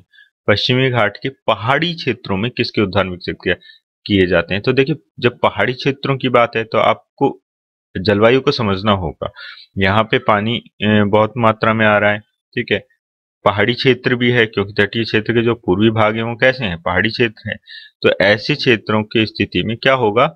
हम क्या उगेंगे? चाय, कॉफ़ी और रबड़ जैसी जो जो फ़सलें हैं, उनका उत्पादन करते हैं। तो आपको इसकी स्थिति से ही पता लग रहा है, यहाँ पे कौन कौन सी फ़सलें उगाई जा सकती हैं? चाय, कॉफ़ी और रबड़ की खेती यहाँ पर सामान्य तौर पर की जाती है। मछली पकड़ना भी यहाँ का मुख्य व्यवसाय है, क्योंकि समुद्र बिल्कुल पास में आता है। यहाँ नदियों का बहाव बहुत तेज होता है, सामान्य तौर पे। तो यहाँ पे जल विद्युत उत्पादन और सिंचाई के लिए बाँध भी काफ़ी मात्रा में बनाए गए हैं। नेक्स्ट क्वेश्चन देखिए। भारत के तटीय क्षेत्रों में मुख्यतः कौन से खनिज आदि पाए जाते हैं? भारत के तटीय क्षेत्रों में मुख्यतः कौन से खनिज आदि यहाँ पाए जाते हैं? तो कौन से पाए जाते हैं? यहाँ पर जो है आणविक खनिज ज़्यादातर पाए जाते हैं। मोनोजाइट, जिरकन, थोरियम आदि पाए जाते हैं। तो भीतरी भागों में देखें तो चीनी मिट्टी, चूना पत्थर और गार्गेट, गार्नेट और ग्रेफाइट वगैरह पाया जाता है। नेक्स्ट क्वेश्चन देखिए। मालाबार तट में मुख्य बंदरगाह कौन से हैं? मालाबार तट में मुख्य बंदरगाह कौन से हैं? तो कौन से तट कौन से हैं। कोजिकोड है, कोच्चि हो गया, अलेप्पी और तिरुवनंतपुरम ये क्या है? मालाबार तट के मुख्य बंदरगाह क्षेत्र है। तो आपको इसी के साथ ये इसका लास्ट क्वेश्चन था और इस चैप्टर का भी लास्ट क्वेश्चन था। तो मिलते हैं नेक्स्ट चैप्टर नेक्स्ट क्लास के साथ। तब तक के लिए थैंक यू